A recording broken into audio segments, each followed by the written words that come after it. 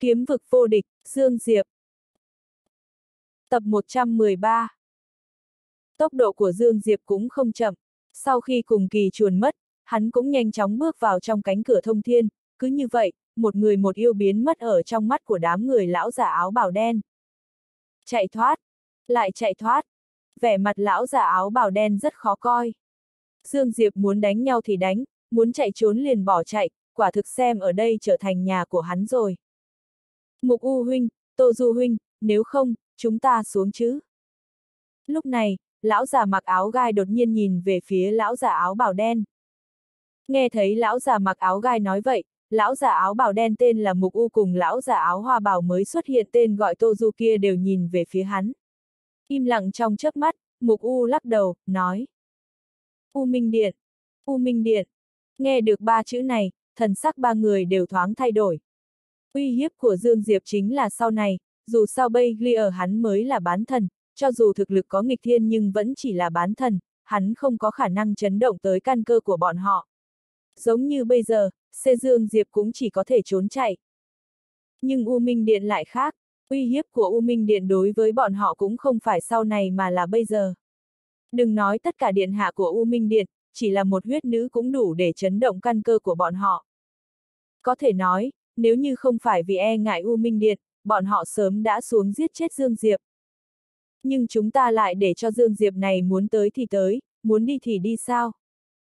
Lão già mặc áo gai trầm giọng nói. Tô Du khẽ gật đầu. Tiếp tục như vậy quả thật không phải là cách, mặc dù bây giờ ta xuất hiện, hai người bọn họ sẽ không dám lên đây một thời gian. Nhưng ba người chúng ta cũng không thể cứ canh giữ ở chỗ này. Nhất định phải suy nghĩ một cách để giải quyết chuyện này, nếu không chúng ta sẽ bị hắn ngăn chặn. Lão già mặc áo gai khẽ gật đầu. Mọi người đừng quên điểm quan trọng nhất, trong khoảng thời gian ngắn, bọn họ quả thật không làm gì được chúng ta, cũng không dám lên đây, nhưng nếu như Dương Diệp này đạt được thần giả thì sao? Nghe thấy lão già mặc áo gai nói vậy, vẻ mặt Tô Du cùng Mục U lập tức căng thẳng. Bọn họ thiếu chút nữa quên mất điều này. Dương Diệp bây giờ là bán thần, nhưng thực lực đã khủng khiếp như vậy. Nếu như hắn đạt được thần giả, khi đó ba người mình thật có thể ngăn cản được hắn sao? Lúc này, lão già mặc áo gai lại nói. Chuyện bán thần giết luân hồi cảnh mặc dù không dễ, nhưng các ngươi chắc hẳn từng nghe nói không ít chuyện thần giả giết luân hồi cảnh đi. Bọn họ tất nhiên đã từng nghe nói. Trước đây, khi tiêu giao tử cùng kiếm vô cực ở cảnh dưới thần giả, cho dù là cường giả luân hồi cảnh ở trước mặt bọn họ cũng phải nhượng bộ lui binh. Ở thế giới này, rất nhiều người không thể cân nhắc theo lẽ thường. Ví dụ như kiếm vô cực, ví dụ như tiêu giao tử, hay ví dụ như Dương Diệp này. Mọi người ở đó im lặng. Ba người đều có phần khó xử. Không thể xuống, bọn họ lại không thể mỗi ngày canh giữ ở chỗ này, hơn nữa bọn họ cũng sợ Dương Diệp ở phía dưới xông qua thần giả, nếu chẳng may Dương Diệp thật sự đạt tới thần giả, khi đó sẽ càng lớn chuyện. Ở đó, ba người im lặng rất lâu, cuối cùng bọn họ liếc mắt nhìn nhau và khẽ gật đầu, giống như có quyết định gì đó. Chấm. Hạ vị diện. Dương Diệp cùng cùng kỳ chạy trốn tới hạ vị diện, giống như trước đây, Dương Diệp chui được dưới nền đất, sau đó tiến vào bên trong hồng mông tháp bắt đầu chữa trị cơ thể. Dương Diệp phát hiện ra một điểm, đó chính là kiếm ý của hắn cắn trả, đau đớn hình như nhẹ hơn trước rất nhiều. Trước đây kiếm ý cắn trả làm hắn thật sự đau đớn đến mức không muốn sống nữa. Nhưng bây giờ, cho dù cũng rất đau đớn, nhưng không cảm giác đau đớn đến mức không muốn sống nữa. Cuối cùng, hắn tìm được nguyên nhân, đó chính là thói quen, thường bị kiếm ý cắn trả khiến hắn đã quen với sự đau khổ này. Đối Dương Diệp, đây coi như là chuyện tốt. Qua rất lâu, Dương Diệp được hồng mông tháp chữa trị, vết thương đã hoàn toàn khôi phục. Trong hiện thực, trên mặt đất, Dương Diệp nhìn về phía cùng kỳ. Lúc này, cùng kỳ đang chữa thương. Dương Diệp lắc đầu, nói. Lão huynh, người ở trong tháp của ta khôi phục cơ thể nhanh hơn. Vừa rồi hắn đã mời cùng kỳ tiến bên trong hồng mông tháp, nhưng cùng kỳ chết sống không vào khiến hắn thấy rất khó hiểu. Bởi vì, hồng mông tháp không có ác ý với cùng kỳ, nhưng cùng kỳ không chịu tiến vào trong. Phía xa, cùng kỳ mở mắt và lắc đầu. Vì sao? Dương Diệp không hiểu. Cùng kỳ im lặng trong chớp mắt, sau đó nói. Ngươi biết vì sao tháp của ngươi lực uy hiếp với yêu thú lớn như vậy không? Dương Diệp lắc đầu, Hắn rất tò mò về điều cùng kỳ nói. Cùng kỳ nói, tháp của ngươi là trí bảo. Không đúng, nghiêm khắc mà nói thì nó đã không phải là bảo vật nữa. Không phải bảo vật à? Dương Diệp nhíu mày. Vậy nó là cấp bậc gì? Cấp bậc. Cùng kỳ liếc nhìn Dương Diệp, sau đó nói. Ta cũng không biết, bởi vì trước đây ta cũng chỉ nghe qua, không có thấy tận mắt nhìn thấy. Dương Diệp. Cùng kỳ lại nói. Cho dù nó vô cùng cường đại, nhưng bản thân nó không có lực chấn áp gì với yêu thú, tác dụng của nó cũng không phải nhằm vào yêu thú, thật sự có lực chấn áp với yêu thú là một món bảo vật khác trong tháp này của ngươi. Một món bảo vật khác. Dương Diệp ngẩn người, sau đó nói. Bên trong còn có một món bảo vật khác à? Sao ta không biết vậy? Cùng kỳ nói. Trước đây ta cũng không xác định, nhưng sau khi đi vào, ta ngửi thấy được hơi thở của nó. Bởi vì trước đây ta đã gặp qua, cả đời ta cũng không quên mùi của nó. Chẳng qua ta không rõ tại sao món bảo vật đó lại ở trong tháp này của ngươi, hơn nữa hình như đối phương cũng không thể hiện thân. Trong tháp còn có bảo vật. Dương Diệp có chút hưng phấn, hắn nhìn về phía cùng kỳ. Nói vậy, có phải ngươi là bị bảo vật này trị đúng không? Nói xong, Dương Diệp thầm nghĩ không xong, mình nói sai rồi. Quả nhiên, khi cùng kỳ nghe thấy hắn nói vậy thì đột nhiên giận tím mặt. Tiểu tử chó má nhà ngươi, lão tử tung hoành thiên hạ không có địch thủ, làm sao có thể bị nó. Nói đến đây, nó dường như kiêng kỵ gì đó nên dừng lại một lát, sau đó giọng điệu dịu xuống. Chỉ là từng gặp nó thôi, không thật sự giao đấu. Dương Diệp liếc mắt nhìn đối phương, không cần phải nói, tên này tuyệt đối từng bị trị. Nếu không nó cũng sẽ không liều chết không tiến vào hồng mông tháp. Cuối cùng là bảo vật gì mà khiến cùng kỳ cũng chịu khổ trước nó vậy? Dương Diệp hỏi. Đó là bảo vật gì? Cùng kỳ im lặng một lát, sau đó nói. Là một tạp chủng chế tạo ra bảo vật chuyên môn đối phó yêu tộc, bảo vật này đặc biệt nhằm vào yêu tộc, có thể nói là khắc tinh của tất cả yêu tộc. Đương nhiên, điều này cũng không phải là tuyệt đối, chỗ khác thì ta không biết, dù sao ở mảnh vũ trụ của chúng ta thật sự không quá 10 người trong yêu tộc có thể không khiếp sợ thứ này. Tên gì? Dương Diệp liền vội vàng hỏi. Cùng kỳ liếc nhìn Dương Diệp. Ngươi hỏi nhiều như vậy làm gì, nó ở trong tháp này của ngươi, sớm muộn sẽ xuất hiện ở trước mặt ngươi thôi. Đến lúc đó ngươi chẳng phải sẽ biết sao. Dương Diệp bĩu môi, người này còn thừa nước đục thả câu. Tuy nhiên cùng kỳ nói cũng rất đúng, cùng kỳ nói bảo vật kia chắc chắn ở bên trong hồng mông tháp, có thể là ở trong tầng thứ tư. Tầng thứ tư. Dương Diệp cũng muốn mở ra, nhưng không phải hắn muốn mở là có thể mở ra được. Sau khi thực lực của hắn đạt tới một trình độ nhất định, mỗi tầng tháp của hồng mông tháp mới tự động mở ra. Nhưng hắn không biết rốt cuộc phải đạt tới trình độ nào mới có thể làm cho hồng mông tháp mở ra tầng thứ tư. Cho dù hồng mông tháp rất lâu đều sẽ phối hợp hắn, nhưng sẽ không giao lưu cùng hắn, đây là chỗ khiến hắn tương đối buồn bực. Lúc này, cùng kỳ đột nhiên nói. Tiểu tử, người không thể không tới đại thế giới kia được sao?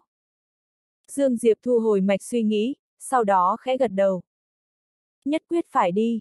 Cùng kỳ trầm ngâm vài hơi thở, sau đó nói. Có chút khó khăn. Dương Diệp cười nói. Ta biết, cho nên ta chuẩn bị đánh một trận lâu dài, một ngày không được thì ta đánh một năm, một năm không được, ta lại đánh hai năm, mãi đến khi đánh được mới thôi. Cùng kỳ lắc đầu. Ý tưởng này của ngươi thì tốt, nhưng người ta sẽ để cho ngươi tiêu hao như vậy nữa sao? Bọn họ đều là lão quái vật nên nhất định phải thông minh. Cho nên đối phương hoặc là thỏa hiệp để cho ngươi đi tới, hoặc là sẽ nghĩ cách giết ngươi, không để cho ngươi có bất cứ cơ hội nào. Dương Diệp khẽ gật đầu. Hắn tất nhiên hiểu rõ điều này, đám người ở đại thế giới cũng không ngốc, người ta chắc chắn đã biết suy nghĩ của hắn, nếu không cũng sẽ không có ba gã cường giả luân hồi cảnh xuất hiện. Mà bây giờ, cùng kỳ xuất hiện có thể sẽ làm cho những người ở đại thế giới phái ra càng nhiều cường giả luân hồi cảnh. Cùng kỳ nói, tiểu tử, theo suy nghĩ của ta, người tốt nhất nên ở phía dưới này tu luyện, chờ ngươi tu luyện tới cảnh giới thần giả thì lại đi lên đó, khi đó những lão giả kia chắc hẳn sẽ không ngăn cản được ngươi. Dương Diệp lắc đầu. Bọn họ sẽ không cho ta cơ hội đạt tới thần giả. Bây giờ ta không đi lên, đến lúc đó chiến trường có khả năng sẽ biến thành ở hạ vị diện này. Cho dù bây giờ bọn họ kiêng kỵ U Minh Điện nên không dám xuống, nhưng ta bảo đảm một khi ta sắp đột phá đến thần giả, bọn họ nhất định sẽ bất chấp tất cả để tới giết chết ta. Ngươi nói cũng phải. Cùng kỳ khẽ gật đầu. Dương Diệp có thiên phú quá mạnh mẽ, để cho hắn đạt được thần giả, khi đó thực lực của hắn sẽ được lột xác, cộng thêm ngân hà kiếm đồ của hắn thì cường giả luân hồi cảnh cũng phải đứng sang một bên. Dương Diệp lại nói. Hơn nữa, muốn đột phá đến thần giả thì khó có thể thực hiện được trong thời gian ngắn. Ta không chờ được đã lâu như vậy. Nếu như tử nhi cùng tiểu bạch không bị thần phượng tộc bắt, hắn chắc chắn sẽ không đi tới đại thế giới. Nhưng bây giờ tử nhi cùng tiểu bạch sống chết chưa biết, hắn thật sự không muốn tiếp tục chờ đợi nữa. Cùng kỳ liếc nhìn Dương Diệp và đang muốn nói, lúc này Dương Diệp đột nhiên nói. Lần này để bản thân ta đi tới đó. Cùng kỳ lập tức sửng sốt.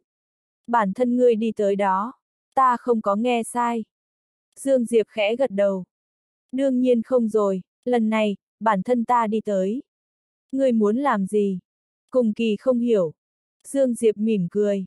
Ta ngoại trừ liều mạng thì còn có thể làm gì? Ngươi cứ ở đây chờ ta. Dương Diệp vừa dứt lời, cơ thể thoáng di chuyển và trực tiếp hóa thành một đường kiếm quang phóng lên cao. Phía dưới, cùng kỳ nhíu mày. Người này rốt cuộc muốn làm gì? Chấm. Đại thế giới, Dương Diệp lại từ trong cánh cửa thông thiên đi ra, mà lần này ở trước mặt hắn có năm lão già. Năm tên cường giả luân hồi cảnh. Mục U nhìn Dương Diệp từ trong cánh cửa đi ra, nói. Dương Diệp, năm cường giả luân hồi cảnh tới giết ngươi, cho dù ngươi có chết cũng đủ quang vinh rồi. Lần này, tất cả cũng nên kết thúc thôi. Dương Diệp khẽ gật đầu, sau đó nói. Đúng là nên kết thúc. Vừa dứt lời, kiếm thần ấn của hắn đột nhiên sáng lên như tuyết, rất nhanh, ở dưới kiếm thần ấn gia tăng, kiếm ý của hắn đã tăng lên tới quy nguyên cảnh. Kiếm ý quy nguyên cảnh. Mục U lắc đầu. Không đủ. Cổ tay của Dương Diệp thoáng động, một bức vẽ xuất hiện ở trước mặt của hắn. Kiếm ý quy nguyên cảnh không đủ, vậy thêm cái này thì sao? Ngân Hà kiếm đồ. Sở dĩ Dương Diệp không cho cùng kỳ đi cùng, cũng bởi vì hắn không chuẩn bị giữ lại, cũng không có cách nào giữ lại, bởi vì hắn biết rõ, phía đối diện sẽ không cho hắn cơ hội tiêu hao. Quả nhiên, năm tên cường giả luân hồi cảnh chờ hắn ở đây. Năm tên luân hồi cảnh. Ngoại trừ Ngân Hà kiếm đồ, hắn thật sự không có chiều nào khác. Đối diện Dương Diệp, đám người mục u nhìn thấy bức tranh mở ra trước mặt Dương Diệp thì đều nhíu mày, bởi vì bọn họ cũng không nhận ra Ngân Hà kiếm đồ, nhưng chẳng bao lâu bọn họ lại nhớ ra. Ở đó, Dương Diệp không nói nhảm mà vung tay phải lên, Ngân Hà kiếm đồ chấn động mạnh, bạo phát ra một đạo tinh quang sáng ngời, thoáng cái, cảnh tượng ở đó biến thành một mảnh không trung. Ngân Hà kiếm đồ. Phía xa, đám người mục u kinh hãi nhìn Dương Diệp. Ngân Hà kiếm đồ. Trước đây sở dĩ kiếm vô cực có thể mạnh mẽ ở đại thế giới chính là có một phần công lao của Ngân Hà kiếm đồ này. Trước đây kiếm vô cực thi triển ra ở trước một thế lực lớn, thế lực lớn kia nắm giữ bảy tám gã cường giả luân hồi cảnh đã trực tiếp lựa chọn thỏa hiệp, không người nào dám đánh một trận. Sau trận chiến ấy, Ngân Hà kiếm đồ nổi tiếng tất cả đại thế giới. Thật ra, bọn họ cũng biết Dương Diệp nắm giữ Ngân Hà kiếm đồ, nhưng bọn họ không quá sợ, bởi vì bọn họ là luân hồi cảnh, Dương Diệp chỉ là bán thần. Dương Diệp so với kiếm vô cực trước đây còn kém hơn một cấp, đừng thấy chỉ là một cấp nhưng tranh lệch giữa bán thần cùng thần giả lại là một trời một vực, đặc biệt là loại thiên tài giống như Dương Diệp cùng kiếm vô cực. Bởi vậy, bọn họ cảm thấy Dương Diệp có ngân hà kiếm đồ cũng không có cách nào làm cho ngân hà kiếm đồ có uy lực khi kiếm vô cực thi triển ra trước đây. Nhưng bọn họ lại bỏ quên một điểm. Audio điện tử võ tấn bền. Kiếm ý của Dương Diệp là quy nguyên cảnh, mà kiếm ý của kiếm vô cực ban đầu lại là cảnh giới nửa bước quy nguyên. Kiếm ý của Dương Diệp đã bù lại phần cảnh giới chưa đủ của hắn. Im lặng trong chớp mắt, Mục U đột nhiên nói. Giết! Vừa dứt lời, trong cơ thể hắn chợt phát ra một khí thế khủng khiếp, khí thế này giống như sông lớn vỡ đê tràn về phía vị trí của Dương Diệp. Bốn gã cường giả luân hồi cảnh bên cạnh Mục U cũng ảo ảo ra tay. Giờ phút này, bọn họ biết rất rõ mình không có khả năng trốn được. Nếu đã nói là không thể trốn, nếu như trốn cũng có nghĩa là phải đánh nát ngân hà kiếm đồ này. Đánh nát ngân hà kiếm đồ sao? Bọn họ không có lòng tin này. Nếu không thể trốn, vậy chỉ có giết chết Dương Diệp. Chỉ cần giết Dương Diệp, ngân hà kiếm đồ tự nhiên sụp đổ. Ở đó, tay phải của Dương Diệp vung lên, kiếm tổ trong tay trực tiếp bay đến không trung phía xa. Ngay sau đó, ngôi sao trên tinh không xa xôi lập tức sáng lên, rất nhanh kiếm khí từ trong những tinh không này bắn ra, cuối cùng trực tiếp đi qua không gian, rơi về phía đám người Dương Diệp. Lần này, những kiếm khí kia càng mạnh hơn so với Dương Diệp thi triển ngân hà kiếm đổ lần trước không biết bao nhiêu lần. Ngoại trừ nguyên nhân vì cảnh giới của hắn nâng cao, còn có một nguyên nhân khác. Kiếm ý của hắn lúc này là quy nguyên cảnh. Quy nguyên cảnh. Kiếm ý quy nguyên cảnh thêm ngân hà kiếm đồ, đây là con bài chưa lật lớn nhất của Dương Diệp. Ở đó, những kiếm khí ngôi sao trên khắp bầu trời giống như vô số lưu tinh rơi tới, trong những kiếm khí này ẩn chứa năng lượng khủng khiếp làm cho sắc mặt đám người mục u lập tức trắng bệch. Trước đây, bọn họ chỉ từng nghe nói về ngân hà kiếm đồ, biết ngân hà kiếm đồ khủng khiếp, nhưng, khi bọn họ tự mình đối mặt với ngân hà kiếm đồ, bọn họ mới phát hiện nó còn mạnh hơn bọn họ tưởng tượng không biết bao nhiêu lần. Lần này, đám người mục u không dám giữ lại nữa. Trong tinh không, rất nhiều năng lượng cường đại không ngừng tuôn ra, chống lại những kiếm khí ngôi sao, nhưng cuối cùng ở trước kiếm khí ngôi sao vô tận, tất cả phản kháng của đám người mục u đều hóa thành hư vô. Cứ như vậy, sau khi rằng có gần qua một canh giờ, kiếm khí ngôi sao khắp bầu trời mới dần dần biến mất, lập tức khôi phục lại bình thường. Ở đó chỉ còn lại hai người. Một người là Dương Diệp, còn có một người khác là Mục U. Mục U nhìn về phái chân trời, trong ánh mắt có chút mù mịt, rất lâu sau, ánh thu hồi ánh mắt nhìn về phía Dương Diệp. Đúng là một chút bảo đứng đầu một hạ vị diện. Vừa dứt lời, cơ thể hắn dần dần hư ảo, rất nhanh đã hoàn toàn biến mất. Sau khi Mục U biến mất, cùng kỳ xuất hiện ở đó, nó nhìn về phía Dương Diệp. Lúc này, sắc mặt Dương Diệp tái nhợt, thoạt nhìn rất suy yếu. Tiểu tử, người không sao chứ? Cùng kỳ trầm giọng hỏi. Nó không quên lần trước Dương Diệp thi triển ngân hà kiếm đồ, tuổi thọ thiếu chút nữa trực tiếp xuống không. Dương Diệp lắc đầu. Không chết được. Còn lại bao nhiêu tuổi thọ? Cùng kỳ hỏi. Khoảng 2 năm. Dương Diệp nói. Nghe vậy, vẻ mặt cùng kỳ thả lỏng, nói. Như vậy cũng tốt. Dương Diệp có thiên phú rất mạnh, 2 năm, cho dù hắn không thể tu luyện tới thần giả, hắn cũng có thời gian đi tìm bảo vật tăng thêm tuổi thọ. Nói tóm lại, chuyện chưa tính là quá xấu. Dương Diệp khẽ gật đầu, tình hình quả thật vẫn tính là tốt, ít nhất so với trước kia vẫn tốt hơn rất nhiều. Hai năm với hắn là đủ rồi. Chỉ có điều, trong vòng hai năm hắn không có cách nào sử dụng ngân hà kiếm đồ nữa.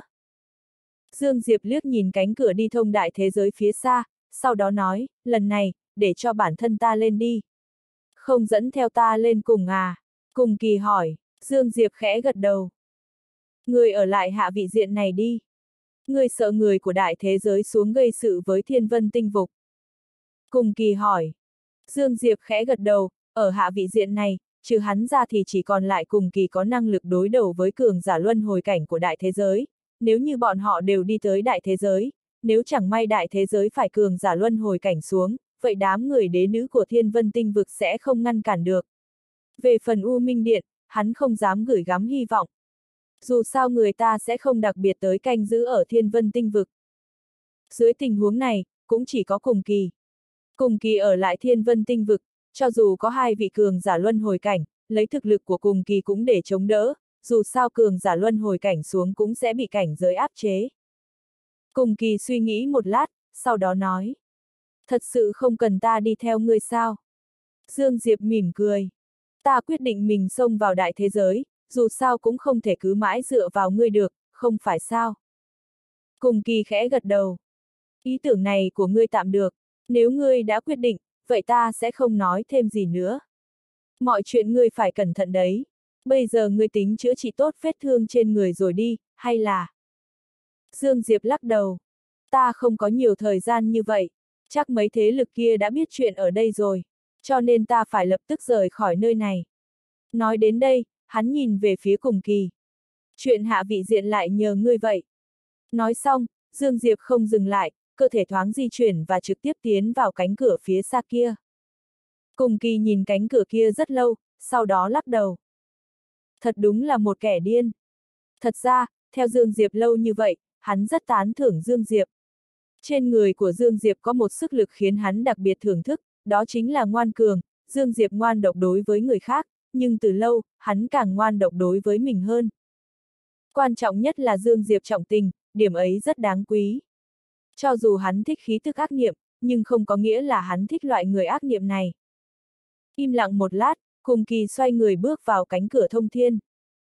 Sau khi cùng kỳ biến mất không lâu, hai lão già đột nhiên xuất hiện ở đó. Một lão già mặc áo bào màu đỏ nhìn lướt qua xung quanh, sau đó nói. Tất cả đều chết hết rồi. U Minh Điện ra tay sao? Một lão già khác hỏi.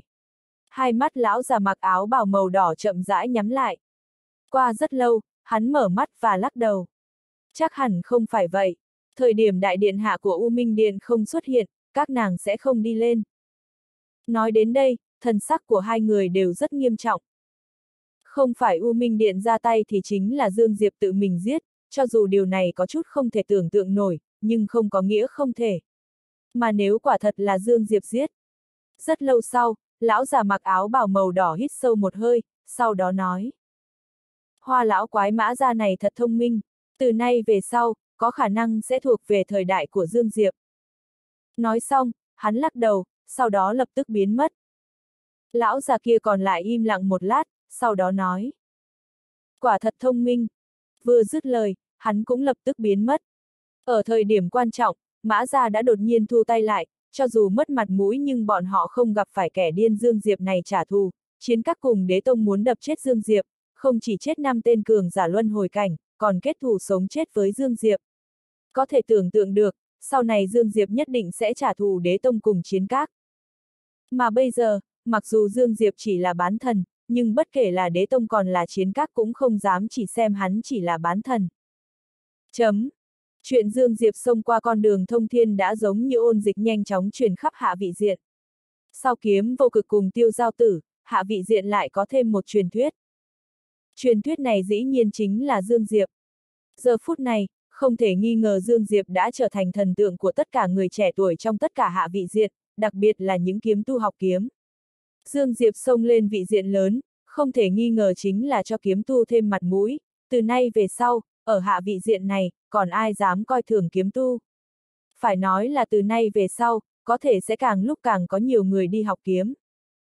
Kiếm tu không mạnh thì thôi, một khi mạnh mẽ lại kinh thiên động địa. Trước đây là tiêu giao tử, kiếm vô cực, bây giờ còn có Dương Diệp chính là ví dụ tốt nhất. Cũng chính vì vậy, sau này hạ vị diện lại dâng lên một phong trào luyện kiếm, vô số người đi theo con đường kiếm tu. Linh giới ở sâu bên trong một dãy núi không biết tên, trên một đá lớn trơn nhẵn có một tiểu nữ hài ngồi xếp bằng, tiểu nữ hài thoạt nhìn chỉ khoảng 10 tuổi, nhưng toàn thân lại lộ ra một khí chất thành thục. Ở trước mặt tiểu nữ hài có một thanh kiếm đang lơ lửng. Đúng lúc này, không gian ở trước mặt tiểu nữ hài đột nhiên khẽ rung lên. Ngay sau đó, một giọng nói từ trong truyền ra. Qua rất lâu, tiểu nữ hài mới mở mắt, sau đó ngẩng đầu nhìn về phía chân trời. Con đường thông thiên, đúng là lợi hại, sau này ta cũng muốn xông qua con đường thông thiên. Vừa dứt lời, một kiếm ý từ trong cơ thể nàng cuồn cuộn trào ra. Kiếm ý niết bàn cảnh. Đại thế giới. Trước đó, sau khi đi qua cánh cửa kia, Dương Diệp cảm giác đầu mình ảm đạm, ngoại trừ bởi vì truyền tống thì còn có một nguyên nhân khác, đó chính là kiếm ý của hắn đang bắt đầu cắn trả. Đáng chết! Nó lại cắn trả đúng là lúc nào, đúng là muốn chết. Kiên trì!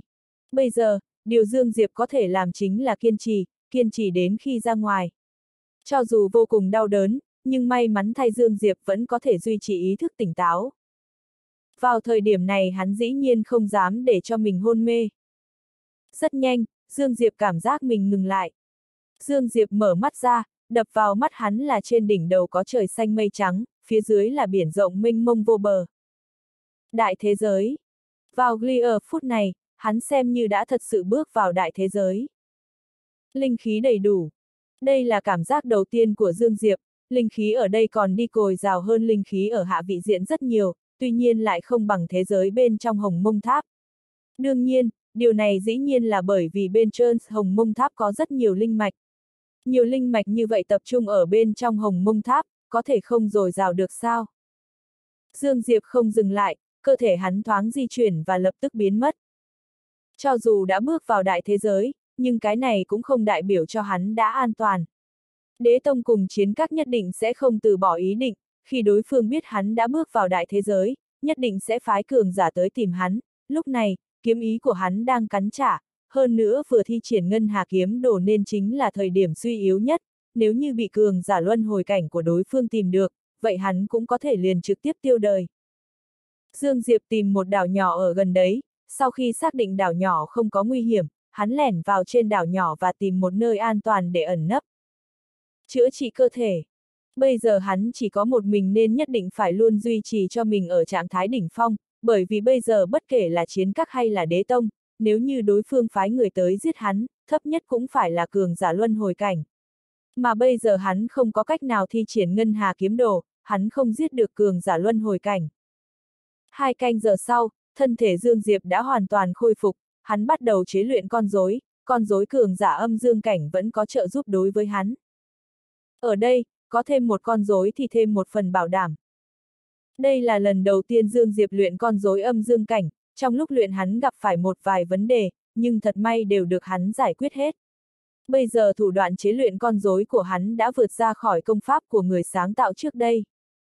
Sau khi chế luyện con rối xong, Dương Diệp rời khỏi đảo nhỏ. Lần này, mục tiêu của hắn là thần phượng tộc. So với chiến các cùng đế tông, thần phượng tộc quan trọng hơn. Bởi vì tiểu bạch cùng tử nhi ở nơi đó. Cho dù hắn biết rõ bây giờ mình có lẽ khả năng không thể đối đầu với thần phượng tộc, nhưng hắn sẽ không ngốc đến mức cứng rắn chống lại đối phương. Ở đây, hắn không có ràng buộc gì. Kiếm tu không có ràng buộc là kiếm tu khủng khiếp nhất, ví dụ như tiêu giao tử. Mới tới đại thế giới, Dương Diệp không quen nên việc cấp bách là tìm được nơi có người, sau đó tìm hiểu một chút về đại thế giới trước.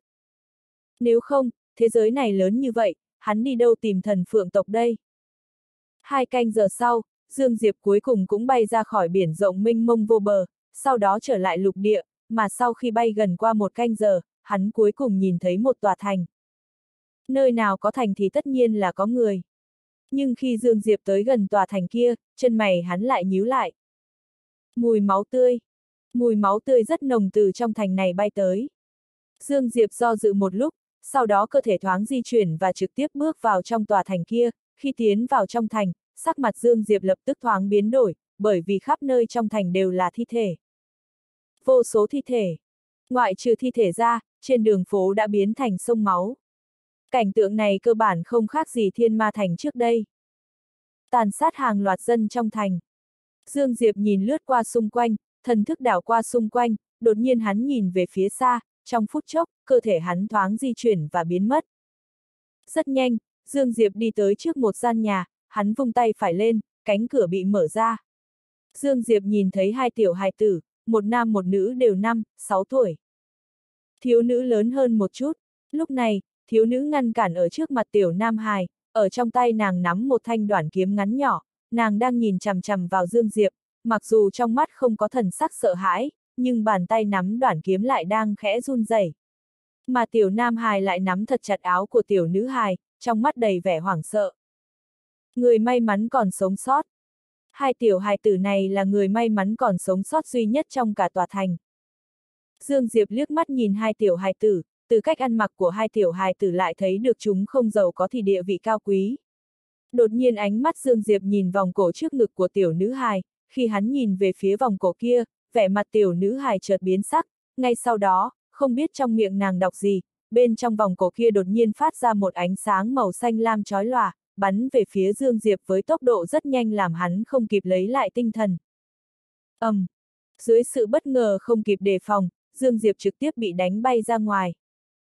Nhìn thấy Dương Diệp bị đánh bay, tiểu nữ hài lập tức thở phào nhẹ nhõm, mà vào lúc này, Dương Diệp lại đột nhiên xuất hiện ở trước mặt nàng. Tiểu nữ hài vô cùng kinh ngạc, vội vàng dẫn theo tiểu nam hài lui về phía sau. Dương Diệp liếc nhìn vòng cổ ở trước ngực tiểu nữ hài, trong mắt lóe lên sự kinh ngạc. Một đòn vừa rồi hoàn toàn không kém một đòn toàn lực của cường giả âm dương cảnh, bởi vì lúc này ra trước ngực hắn đã nứt ra, cho dù không quá nghiêm trọng, nhưng quả thật đã tách ra. Phải biết rằng lúc này cơ thể hắn lại là cảnh giới bất tử bất diệt đấy. Dương Diệp liếc nhìn tiểu nữ hài cùng tiểu nam hài, sau đó xoay người rời đi. Nhìn thấy Dương Diệp xoay người rời đi, tiểu nữ hài hơi ngẩn người ra, trong phút chốc nàng đột nhiên kéo tiểu nam hài đuổi theo tới trước mặt Dương Diệp, trực tiếp quỳ gối trước mặt Dương Diệp. Mau cứu đệ đệ. Nói xong, nàng vội vàng bảo tiểu nam hài này quỳ xuống. Mau cứu đệ đệ. Nghe thấy tiểu nữ hài nói vậy, trong lòng Dương Diệp thoáng động. Tiểu nữ hài này nói rất có ý tứ, bởi vì nàng nói là mau cứu đệ đệ, mà không phải mau cứu chúng ta. Dương Diệp im lặng trong chớp mắt, sau đó nói. Các ngươi là ai? Tại sao lại ở đây? Ở đây rốt cuộc xảy ra chuyện gì? Tiểu nữ hài liếc nhìn Dương Diệp, sau đó khẽ nói. Ta là Tần Tuyết, đệ đệ gọi Tần Viễn, chúng ta tới từ Tần gia một trong năm thế gia lớn, chúng ta. Dương Diệp nhanh chóng hiểu rõ. Hai huynh muội này theo nhị thúc của bọn họ ra ngoài làm việc, dừng chân ở trong thành này. Nhưng bọn họ tương đối bi kịch, không biết vì nguyên nhân gì, một người đánh đến tòa thành này. Trong thành, ngoại trừ huynh muội bọn họ ra đã không có bất kỳ người sống nào. Sở dĩ bọn họ có thể sống sót là dựa vào vòng treo trên cổ của Tần Tuyết. Chính nhờ vòng cổ kia bảo vệ, hai tử để bọn họ mới có thể tránh thoát một kiếp. Nhưng hai tỷ đệ căn bản không có thực lực gì, bởi vậy bọn họ cũng không dám đi ra ngoài. Dương Diệp nhìn Tần Tuyết trước mặt, cười nói. Người muốn bảo ta dẫn các ngươi quay về Tần ra sao? Cảm ơn ca ca. Tần Tuyết đột nhiên bái lại Dương Diệp. Ơn lớn của ca ca, tỷ đệ chúng ta vĩnh viễn sẽ không quên. Vẻ mặt Dương Diệp cứng đờ, chỉ một thoáng hắn lắc đầu, tiểu nữ hài này thông minh này có chút ép buộc rồi. Lúc này, Tần Tuyết lại nói. Tần gia cũng sẽ báo đáp ca ca. Dương Diệp suy nghĩ một lát, sau đó nói. Đi, chúng ta đi tần gia. Nghe thấy Dương Diệp nói vậy, Tần Tuyết lập tức vui mừng, vội vàng kéo tiểu nam hài này đi tới bên cạnh Dương Diệp. Dương Diệp mỉm cười, sau đó kéo tay của hai người muốn rời đi. Mà vào lúc này, phía chân trời đột nhiên xuất hiện mấy đường ánh sáng di chuyển tới tốc độ rất nhanh, chẳng bao lâu, ánh sáng lấp lánh trực tiếp rơi vào cách ba người Dương Diệp xa. Ánh sáng lấp lánh tản đi, ba gã nam tử trung niên xuất hiện ở trong tầm mắt của Dương Diệp. Một âm dương cảnh, hai thần giả. Ba người liếc nhìn ba người Dương Diệp, một tên nam tử áo bào xa hoa nhìn lướt qua tòa thành phía xa, sau đó hắn nhìn về phía nam tử trung niên áo bào màu đỏ dẫn đầu kia, nói. Đến muộn rồi. Tên nam tử trung niên áo bào màu đỏ kia nhìn về phía Dương Diệp. Ngươi làm à? Cái gì? Dương Diệp sửng sốt. Người trong thành là do ngươi tàn sát. Nam tử trung niên áo bào màu đỏ lại hỏi. Dương Diệp liền vội vàng lắc đầu, nói. Chắc chắn không phải ta làm. Nói đùa, tội này không thể gánh được đâu. Huyết kiếm yêu quân biến thành dám làm không dám chịu từ khi nòa vậy. Nam tử áo bào đỏ nói. Huyết kiếm yêu quân. Dương Diệp nhíu mày, nói.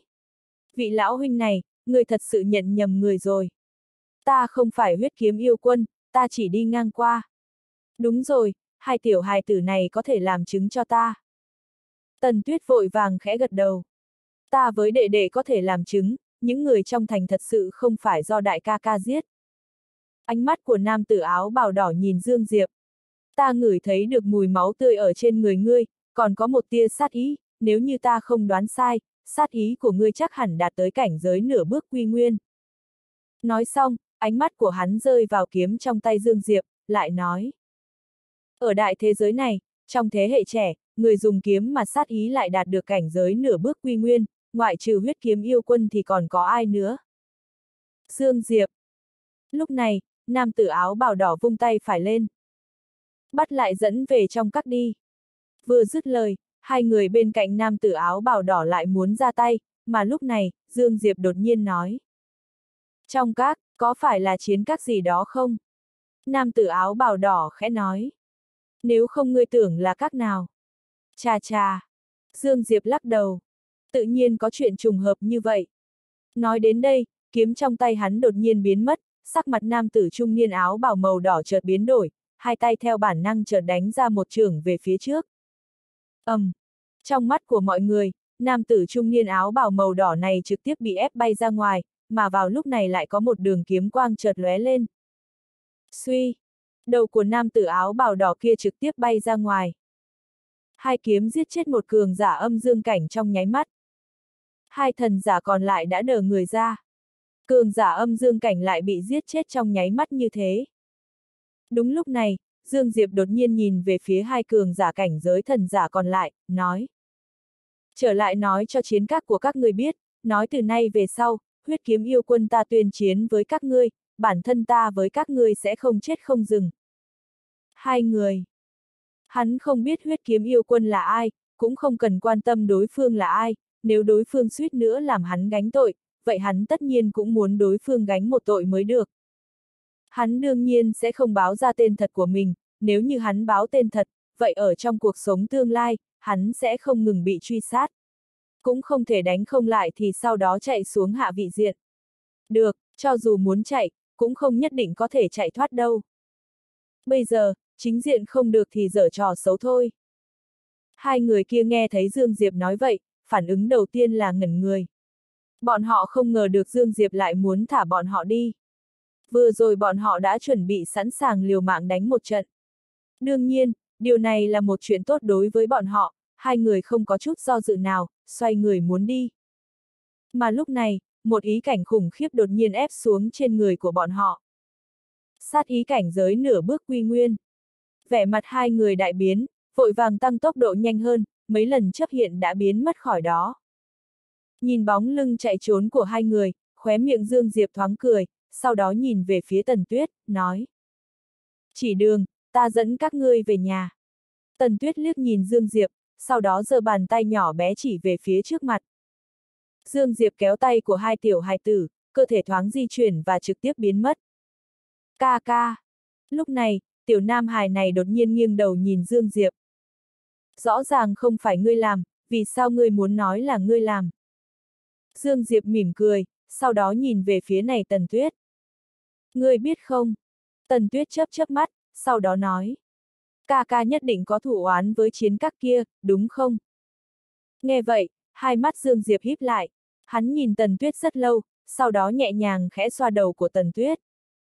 Cái đầu nhỏ này của ngươi thật không bình thường, sau đó lớn lên chắc chắn sẽ không tốt.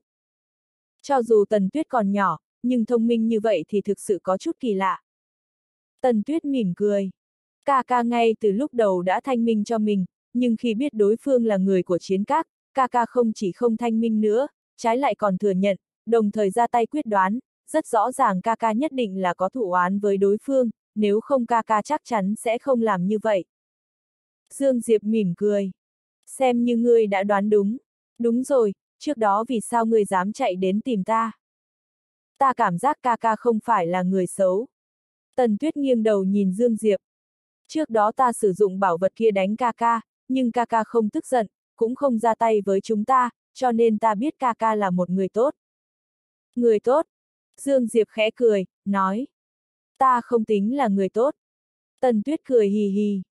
Với ta cùng đệ đệ thì ca ca chính là người tốt. Dương Diệp khẽ cười lắc đầu, không nói nữa.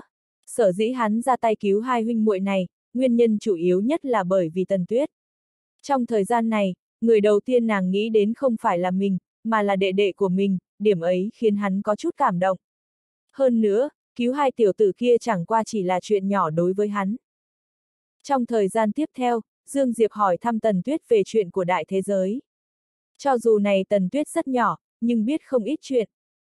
Đại thế giới không giống với hạ vị diện, không nhiều thế giới như vậy mà chỉ có một đại lục tên là Đại lục Thiên Thiên.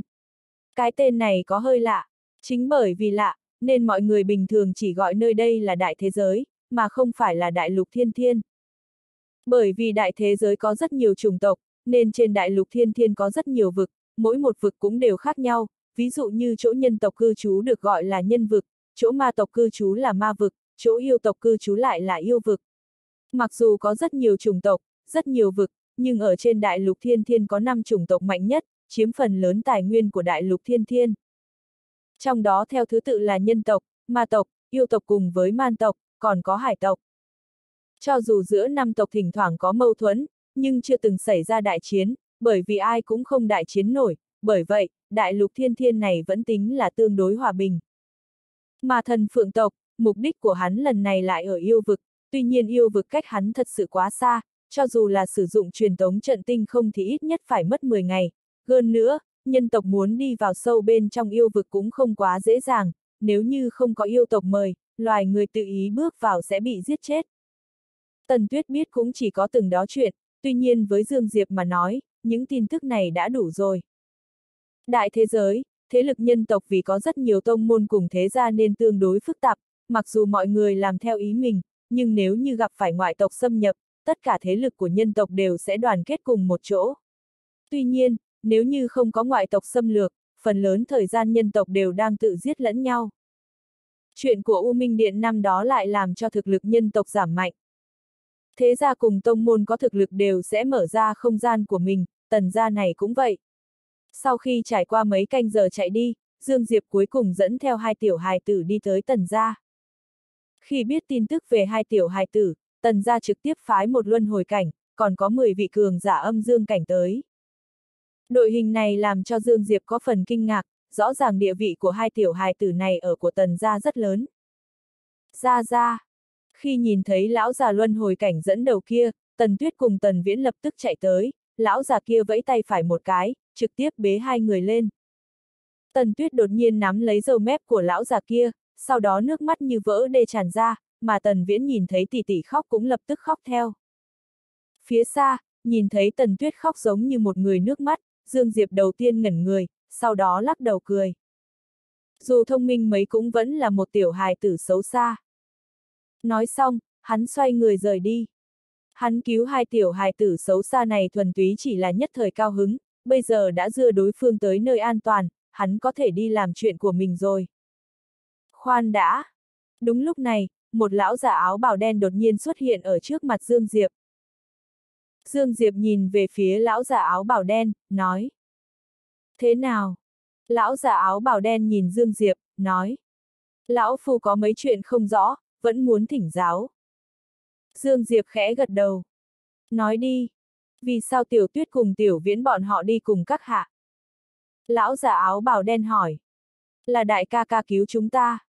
Lúc này, tiểu tuyết đột nhiên chạy tới, sau đó nói ra đầu đuôi mọi chuyện. Nghe thấy tiểu tuyết nói vậy, vẻ mặt tất cả mọi người ở đó mới dần dần thả lòng.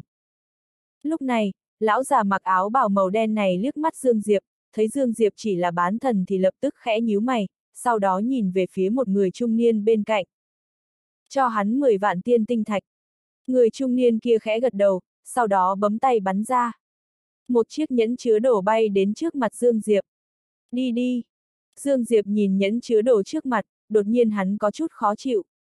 Bởi vì điều này không khác gì bố thí cho kẻ ăn mày, không phải tiên tinh thạch ít, mà là thái độ này của đối phương hình như rất sợ Dương Diệp tới nịnh bợ vậy. Hắn đương nhiên hiểu rõ đối phương thấy hắn chỉ là một bán thần, cho nên muốn tiện tay vứt bỏ. Dương Diệp khẽ cười, sau đó cười nói. Mười vạn tiên tinh thạch, hai tiểu tử kia cũng chỉ giá trị 10 vạn tiên tinh thạch thôi sao? Nghe thấy Dương Diệp nói vậy, ánh mắt của lão già mặc áo bảo màu đen này nhìn Dương Diệp rất lâu mới nói. Nếu không ngươi cảm thấy đáng giá bao nhiêu? Thế nào cũng phải một ngàn vạn tiên tinh thạch, người nói xem. Dương Diệp cười nói. Nghe thấy Dương Diệp nói vậy, tất cả mọi người ở đó đều thoáng ngẩn người ra, rõ ràng mọi người không ngờ được Dương Diệp sẽ dùng công phu sư tử ngoạm như thế. Lão già áo bào đen nói. Người trẻ tuổi, có dã tâm là tốt, nhưng nếu như dã tâm biến thành tham lam, vậy thì sẽ mất mạng đấy, hiểu chưa? Dương Diệp nhìn lướt qua tất cả mọi người ở đó, sau đó bật cười. Cái gọi là thế gia cũng chỉ là như vậy thôi. Nói xong, hắn xoay người rời đi. Tần Tuyết dường như muốn nói gì, mà lúc này, lão già mặc áo bảo màu đen này đột nhiên xuất hiện ở trước mặt Dương Diệp. Ngươi sỉ nhục tần gia ta. Dương Diệp đi tới trước mặt lão già, nói. Nếu như các ngươi thật lòng thật ý cảm ơn ta, đừng nói 10 vạn tiên tinh thạch, một câu cảm ơn ta đã thấy rất hài lòng. Nhưng nhìn sắc mặt này của ngươi giống như sợ ta sẽ quấn quýt lấy các ngươi vậy, thật sự là người buồn nôn. Làm càn. Lão già áo bảo đen đột nhiên giận dữ, sau đó trực tiếp giơ tay chộp lấy Dương Diệp, mà vào lúc này, kiếm trong tay Dương Diệp đột nhiên biến mất ở trong tay. ầm, um, Ở trong ánh mắt mọi người, lão già áo bào đen trực tiếp bị đánh bay ra ngoài, một đường kiếm quang lại chợt lóe lên. Tiếp theo, tất cả mọi người ở đó đều sửng sốt. Lão già áo bào đen cũng chưa chết. Lúc này Dương Diệp đứng ở trước mặt lão già áo bào đen, một thanh kiếm chỉ vào giữa chân mày của lão già mặc áo bào màu đen này. Tất cả mọi người ở đó đều ngây người. Một bán thần tự nhiên dùng một chiêu đánh bại một vị cường giả âm dương cảnh. Dương Diệp không để ý tới lão già áo bào đen trước mặt, mà quay đầu lại nhìn về phía tần tuyết đang lộ ra vẻ mặt ngơ ngác. Vật nhỏ, tặng ngươi một câu nói, phải nhớ thật kỹ, chúng ta làm người, bất cứ lúc nào cũng không thể dùng mắt chó coi thường người, hiểu chưa? Tần tuyết theo bản năng khẽ gật đầu, sau đó nói. Ca ca, người thả tam ra ra ra được không? Dương Diệp khẽ cười, nói. Được. Nói xong, hắn nhìn lướt qua tất cả mọi người ở đó, sau đó nói. Không nói khoác lác, cường giả âm dương cảnh, ta có thể đánh 10 người. Ngươi lại muốn khoác lác à? Lúc này, một cường giả luân hồi cảnh duy nhất đột nhiên nói. Dương Diệp quay đầu lại nhìn về phía cường giả luân hồi cảnh kia. Hình như ta chưa từng khoác lác. Vậy ngươi khoác lác xem. Lão già nói. Dương Diệp nhìn lão già rất lâu, sau đó nói. Cường giả luân hồi cảnh, ta từng đánh đến mềm tay. Mọi người. Cường giả luân hồi cảnh, từng đánh tới mềm tay. Nghe được câu này, tất cả mọi người ở đó đều sửng sốt, chỉ một thoáng, khóe miệng của mọi người cong lên đầy châm chọc. Một bán thân mà giết cường giả luân hồi cảnh sao? Vô lý. Nhưng vẻ mặt lão già luân hồi cảnh này lại dần dần trở nên nghiêm trọng, hắn nhìn Dương Diệp rất lâu, sau đó nói. Ta biết ngươi là ai? Hai mắt Dương Diệp híp lại. Ngươi biết ta là ai? Lão già luân hồi cảnh khẽ gật đầu. Ở nhân tộc, bây giờ không người nào không biết ngươi. Hắn đương nhiên biết Dương Diệp, bởi vì chuyện cánh cửa thông thiên đã được truyền ra, tất cả người của đại thế giới đều đã biết hạ vị diện có một vị kiếm tu sông lên đây. Lần này, không phải là sông mà là giết, hơn nữa còn giết 5 người. Năm tên cường giả luân hồi cảnh của chiến tông đế các đã ngã xuống, chuyện này đã gây ra chấn động không nhỏ ở đại thế giới Ấn. Tuy nhiên, rất nhiều người đều không thể nào tin được Dương Diệp đã giết chết bọn họ. Dù sao Dương Diệp chỉ mới là bán thần, nhưng không hề nghi ngờ Dương Diệp rất mạnh, đặc biệt mạnh mẽ. Bởi vì năm tên cường giả luân hồi cảnh đi chặn giết hắn cũng không thể giết chết hắn, dựa vào điểm này, tên của hắn cũng đủ để tất cả nhân tộc kinh ngạc. Phải biết rằng, Dương Diệp chỉ là bán thần. Dương Diệp liếc nhìn lão già, sau đó nói. Ta còn có việc, cáo từ. Nói xong, Dương Diệp xoay người rời đi. Hắn không ngờ người này có thể nhận ra hắn, nếu nhận ra, vậy vẫn nên nhanh chóng chạy ra mới tốt.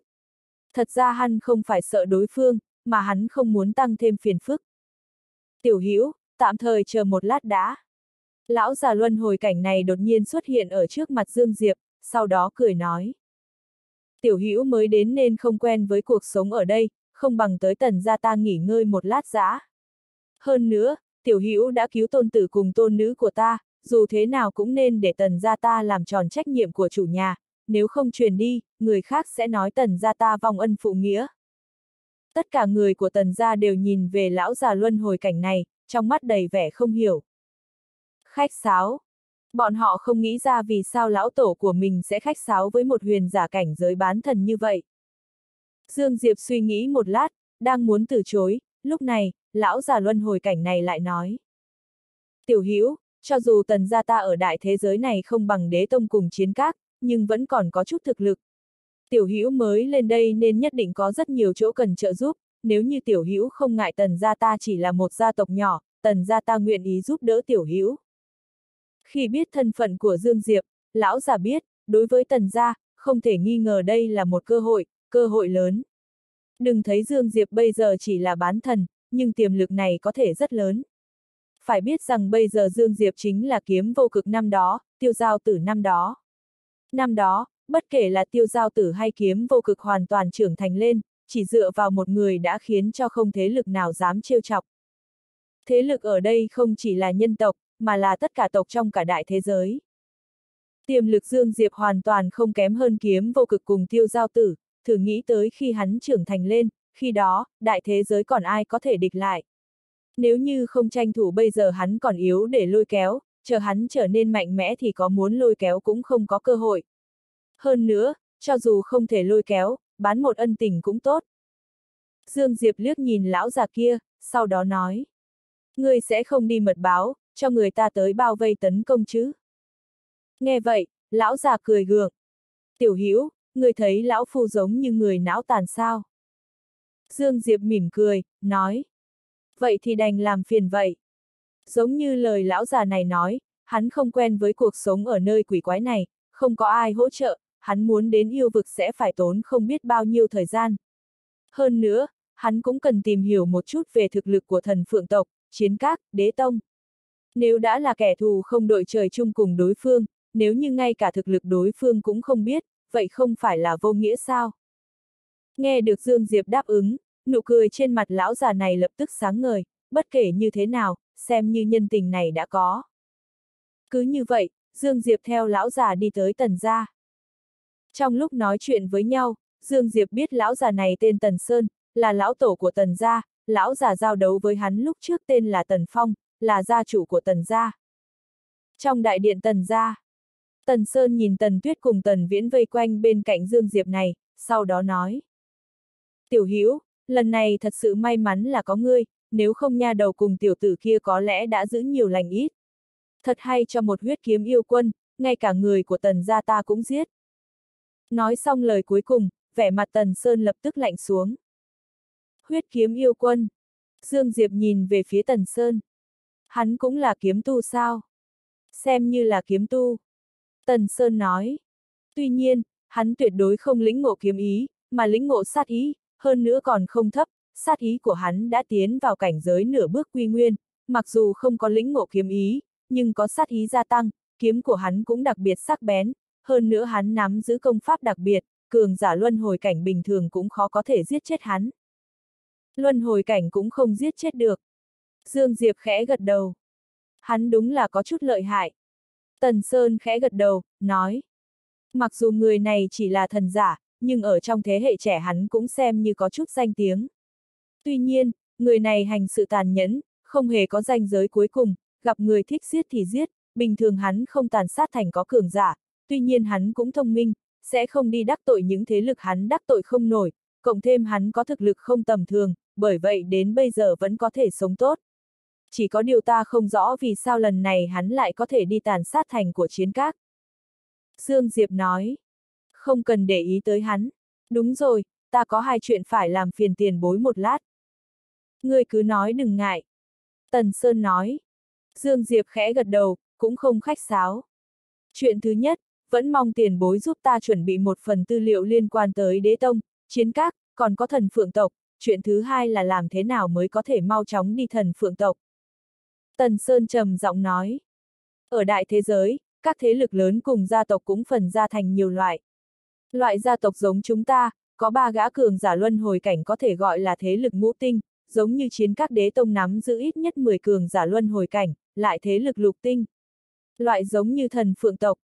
Nói đến đây, hắn dừng lại một lát, sau đó nói. Loại thế lực này thuộc về thế lực bát tinh. Thế lực bát tinh. Hai mắt Dương Diệp híp lại, điều này có nghĩa là gì? Có nghĩa là thần phượng tộc có rất nhiều cường giả cảnh giới thần giả.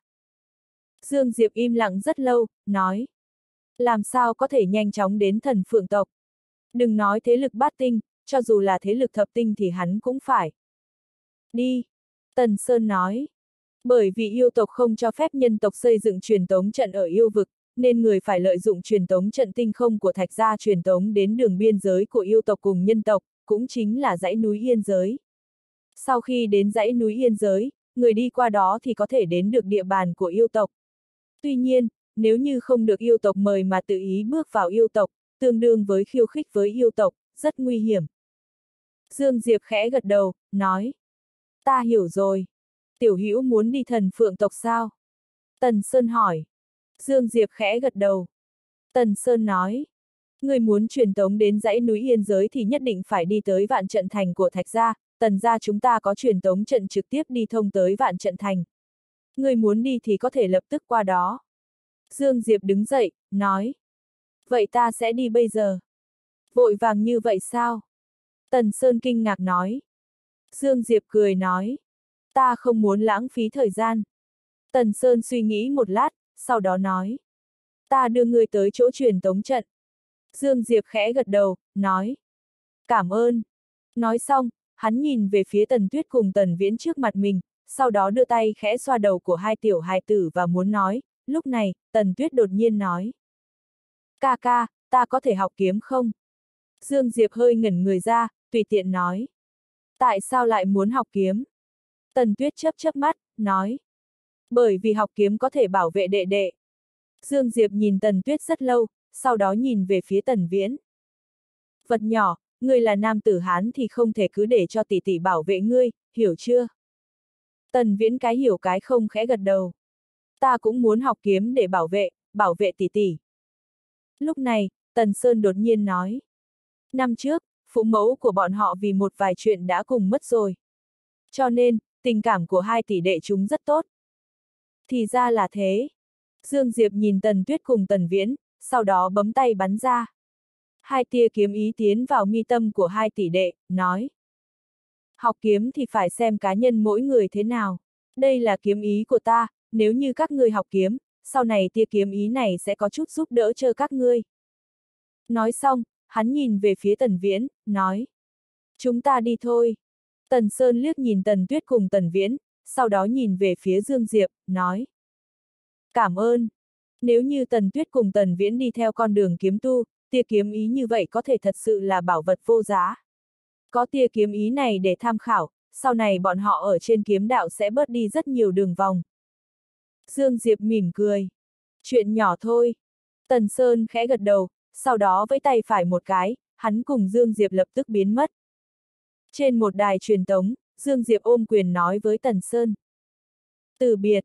Nói xong, hắn xoay người bước vào trong truyền tống trận này, Dương Diệp biến mất rất nhanh ở trên đài truyền tống. Lão Tổ, người này là ai mà khiến Lão Tổ phải khách sáo với hắn như vậy? Bên cạnh Tần Sơn, gia chủ Tần gia Tần Phong trầm giọng nói. Tần Sơn khẽ lắc đầu. Đó là người mà Tần gia chúng ta không thể trêu vào. Nói xong, thân hình hắn run lên và lập tức biến mất. Hắn dĩ nhiên không thể để lộ thân phận của Dương Diệp, bởi vì nếu như lộ ra ngoài, Dương Diệp nhất định sẽ có rất nhiều phiền phức, nếu như là tần gia tiết lộ ra ngoài, tần gia có khả năng sẽ có chút phiền phức lớn. Cho nên hắn tuyệt đối không nói cho Tần Phong biết về thân phận của Dương Diệp. Hai tay Tần Phong chậm rãi nắm chặt lại, nhưng chẳng bao lâu hắn đã dần dần thả lòng. Một lát, hắn lắc đầu và lập tức biến mất. Hắn tất nhiên vẫn nhớ rõ chuyện Dương Diệp thiếu chút nữa giết hắn, từng có ý định muốn báo thù, nhưng cuối cùng vẫn bỏ qua. Bởi vì câu nói kia của Tần Phong, Tần gia chúng ta không thể trêu vào. Qua một canh giờ sau, Dương Diệp xuất hiện ở vạn trận thành. Vào giây phút Dương Diệp mới từ trong truyền tống trận đi ra. Lúc này, một giọng nói đột nhiên vang lên ở trong không trung. Dương Diệp, chờ ngươi rất lâu rồi. Nghe được câu nói kia, tay phải của Dương Diệp lập tức chậm rãi nắm chặt lại. Dương Diệp nhìn về phía âm thanh phát ra, chỉ thấy cách đó không xa có một nam tử mặc áo bào màu đen dựa vào trên vách tường.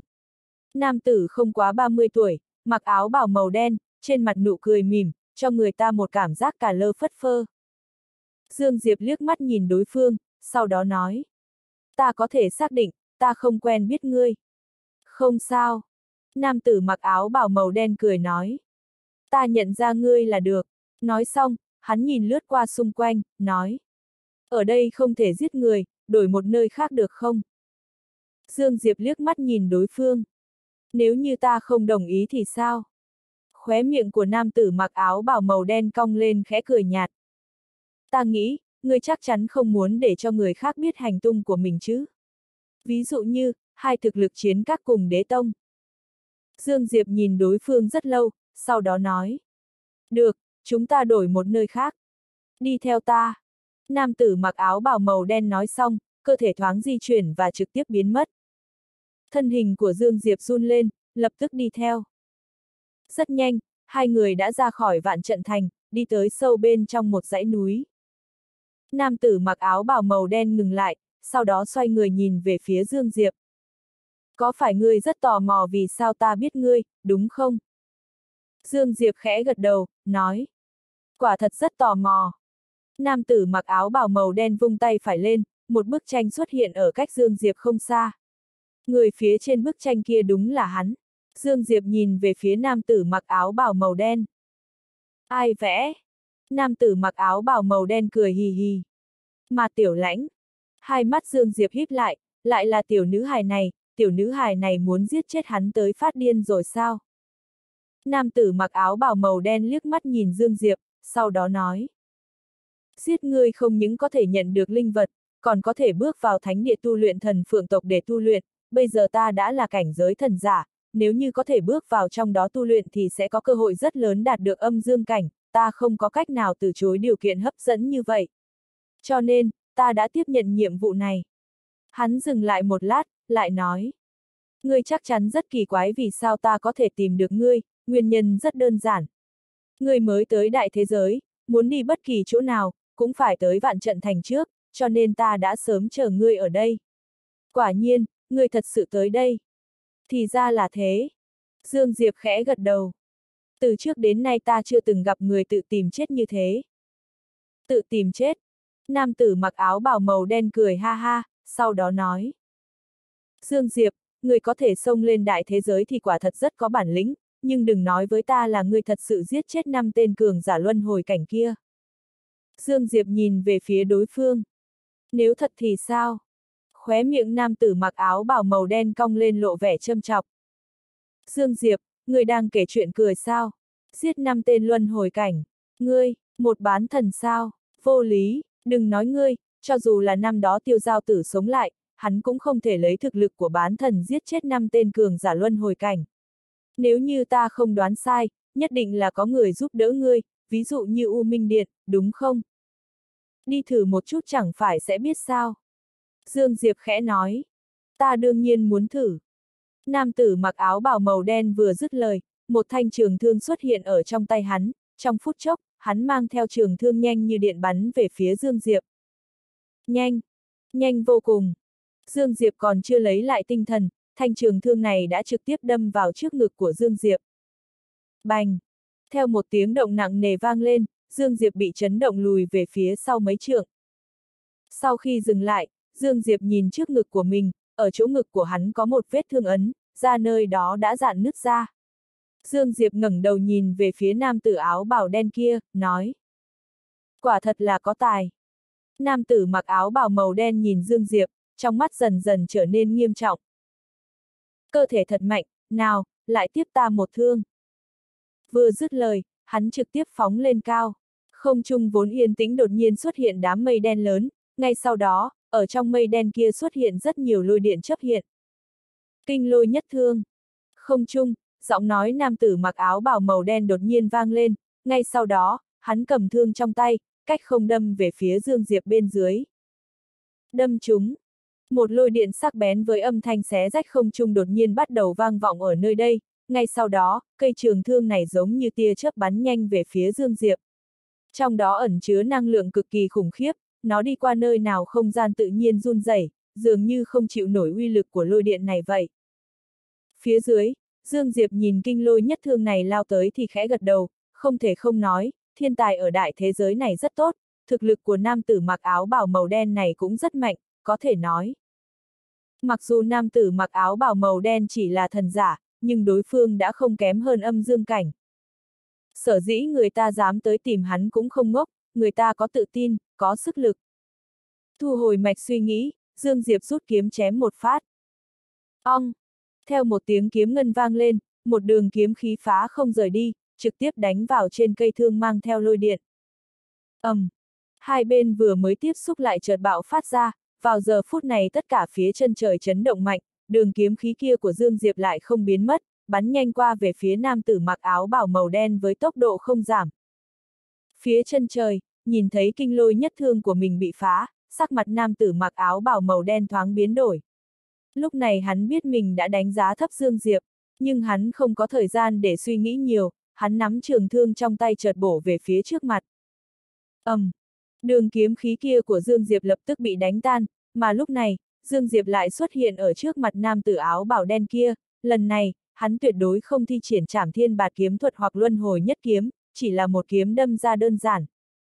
Nam tử áo bảo đen kia nhìn thấy Dương Diệp đâm tới một kiếm thì theo bản năng giơ thương lên ngăn cản, song khi thương của hắn sắp đập vào kiếm trong tay Dương Diệp, cổ tay của Dương Diệp nhất thời chuyển động, kiếm lệch sang bên và trực tiếp đâm vào phía dưới chỗ mũi thương của nam tử mặc áo bảo màu đen. Keng! Theo một tiếng động lanh lảnh vang lên, trường thương trong tay của nam tử áo bảo đen kia trực tiếp bị lệch ra ngoài, sau đó Dương Diệp thuận thế đâm về phía trước, mũi kiếm nhắm thẳng vào trước ngực của nam tử mặc áo bảo màu đen. Nam tử mặc áo bào màu đen vô cùng kinh ngạc, cũng may hắn phản ứng không chậm, vội vàng xoay người mới tránh thoát một kiếm chí mạng này, nhưng kiếm của Dương Diệp vẫn xuyên qua vai hắn, vào giây phút kiếm đi qua vai, Dương Diệp thuận thế nhíu lại. Suy! Cánh tay của nam tử mặc áo bào màu đen trực tiếp bay ra ngoài. Nhưng nam tử mặc áo bào màu đen lại trực tiếp lóe lên, xuất hiện ở ngoài nghìn trường. Dương Diệp liếc mắt nhìn đối phương, nói. Phản ứng rất nhanh.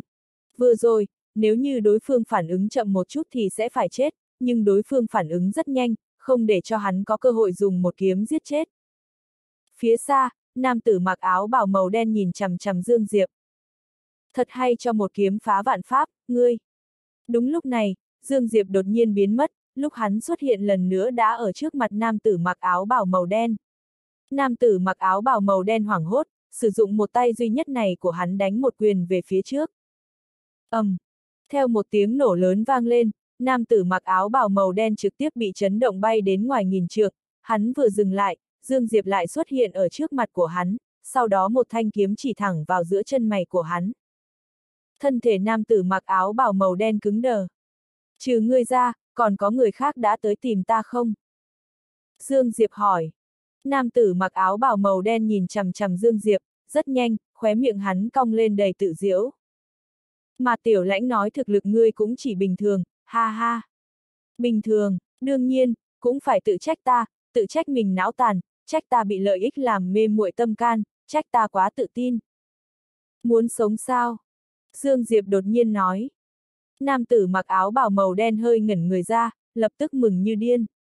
Mà lúc này, suy, đầu của nam tử mặc áo bào màu đen trực tiếp bay ra ngoài. Dương Diệp thu hồi kiếm, khẽ nói. Ta nói đùa thôi. Nói xong, tay phải của Dương Diệp vẫy một cái, nhẫn chứa đồ trên tay nam tử mặc áo bào màu đen bay đến trong tay hắn, sau đó hắn xoay người rời đi.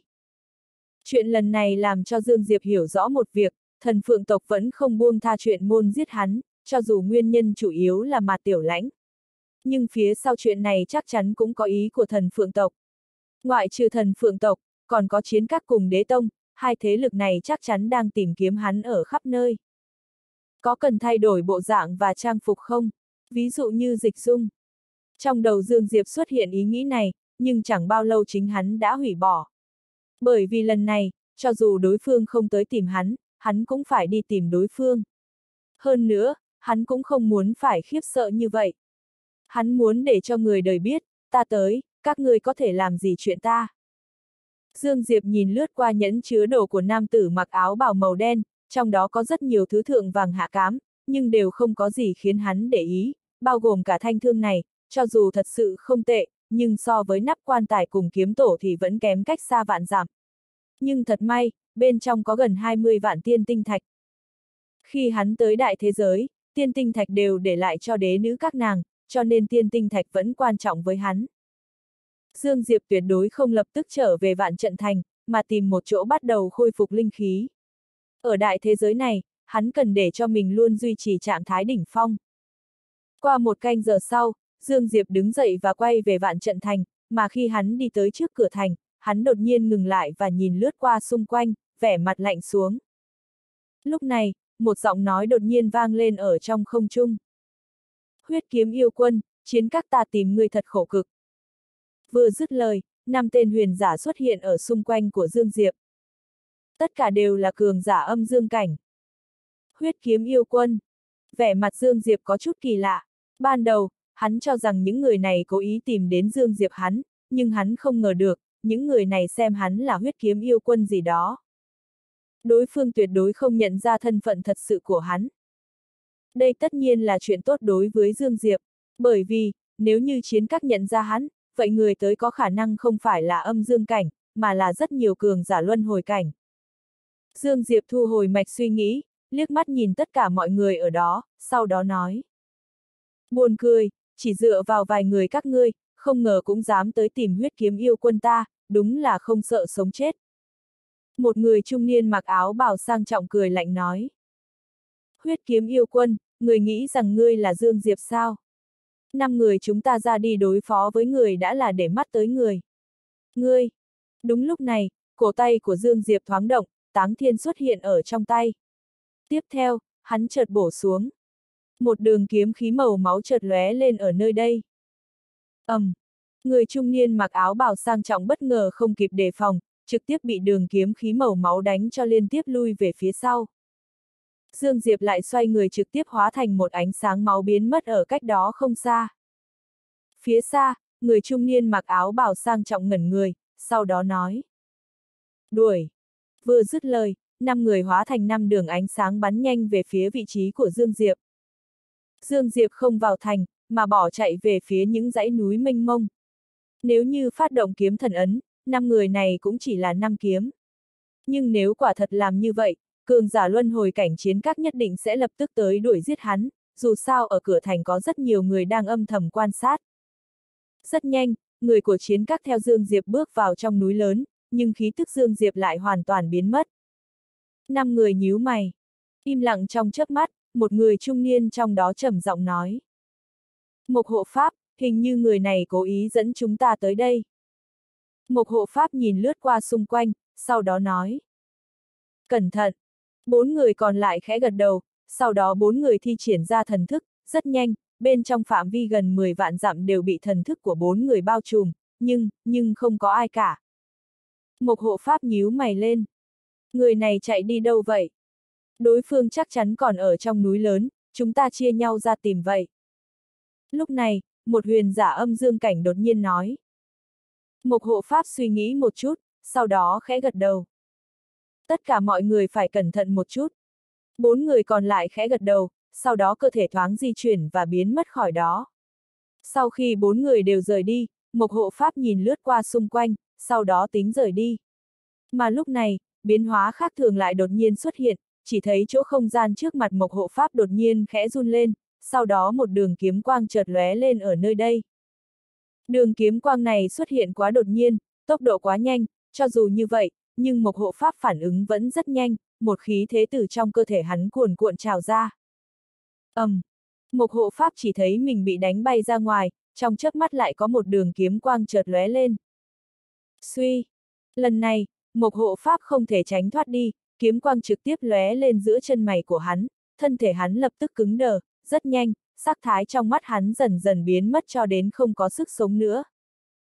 Lúc này, Dương Diệp xuất hiện ở trước mặt thi thể Mộc Hộ Pháp, sau đó vung tay phải lên, thi thể của Mộc Hộ Pháp trực tiếp bị hắn thu vào. Tiếp theo, thân hình của Dương Diệp thoáng động, trực tiếp biến mất. Một hơi thở sau, bên ngoài vạn trường lại có một đường kiếm quang đột nhiên ở chợt lóe lên, rất nhanh, lại là một đường kiếm quang theo sát phía sau. Ngoài nghìn trường, trước mặt Dương Diệp là cơ thể của một huyền giả âm dương cảnh cứng đờ trên không trung, ở giữa chân mày của đối phương có một lỗ kiếm lớn bằng ngón cái, lúc này, bên trong lỗ kiếm này đang chậm rãi tràn đầy máu tươi. Tay phải của Dương Diệp vẫy một cái, thi thể của đối phương trực tiếp bị hắn thu vào, thoáng qua, Dương Diệp lập tức biến mất. Dưới tình huống không có kiếm ý, hắn không có cách nào giết chết huyền giả âm dương cảnh trong nháy mắt, nhưng một kiếm không được thì hai kiếm. Cường giả âm dương cảnh bình thường không ngăn cản được hai đường luân hồi nhất kiếm của hắn. Mà nếu như hắn tăng kiếm ý lên đến quy nguyên cảnh, hắn có thể trực tiếp giết chết cường giả âm dương cảnh trong nháy mắt. Giữa hắn cùng cường giả âm dương cảnh tranh lệch tròn hai cấp, nhưng hắn đã dùng kiếm kỹ cùng kiếm ý để bù đắp lại. Cứ như vậy, Dương Diệp lấy tốc độ rất nhanh lập tức chém giết bốn gã huyền giả âm dương cảnh. Không chung, ánh mắt của người trung niên âm dương cảnh duy nhất sống sót không ngừng quan sát xung quanh, ở trong mắt hắn đầy vẻ đề phòng, còn kiêng kỵ rất sâu, lúc này, hắn đã biết bốn người khác đã chết. Im lặng trong chớp mắt, thân hình người trung niên run lên và trực tiếp biến mất ở phía chân trời. Chạy thoát. Sau khi bốn gã cường giả âm dương cảnh đều chết trận, hắn không có dũng khí tiếp tục chờ ở chỗ này nữa. Sau khi người trung niên chạy trốn sau, Dương Diệp xuất hiện ở chỗ người trung niên đứng trước đó, nhìn về nơi đối phương biến mất, khóe miệng Dương Diệp cong lên lộ ra một nụ cười nhạt, sau đó cơ thể thoáng di chuyển rồi lập tức biến mất. Dĩ nhiên là hắn cố ý thả huyền giả âm dương cảnh này đi. Nếu như giết chết tất cả, chiến các nhất định sẽ điều tra xem là ai giết, một khi điều tra, không chừng sẽ điều tra đến trên đầu Dương Diệp hắn. Nếu như đặt một người trở lại, nhất định sẽ nói là huyết kiếm yêu quân giết. Kể từ đó, người chiến các sẽ đặt lực chú ý ở trên thân huyết kiếm yêu quân, cho dù đối phương muốn tiếp tục phái người tới giết, chắc chắn sẽ không phải ra cường giả luân hồi cảnh. Lui lại một vạn bước mà nói, cho dù điều động cường giả luân hồi cảnh, chắc chắn cũng sẽ không điều động quá nhiều người. Nhưng nếu như chiến các biết là Dương Diệp hắn giết, không cần phải nói, cường giả luân hồi cảnh nhất định sẽ tổ chức thành đoàn thể tới gặp.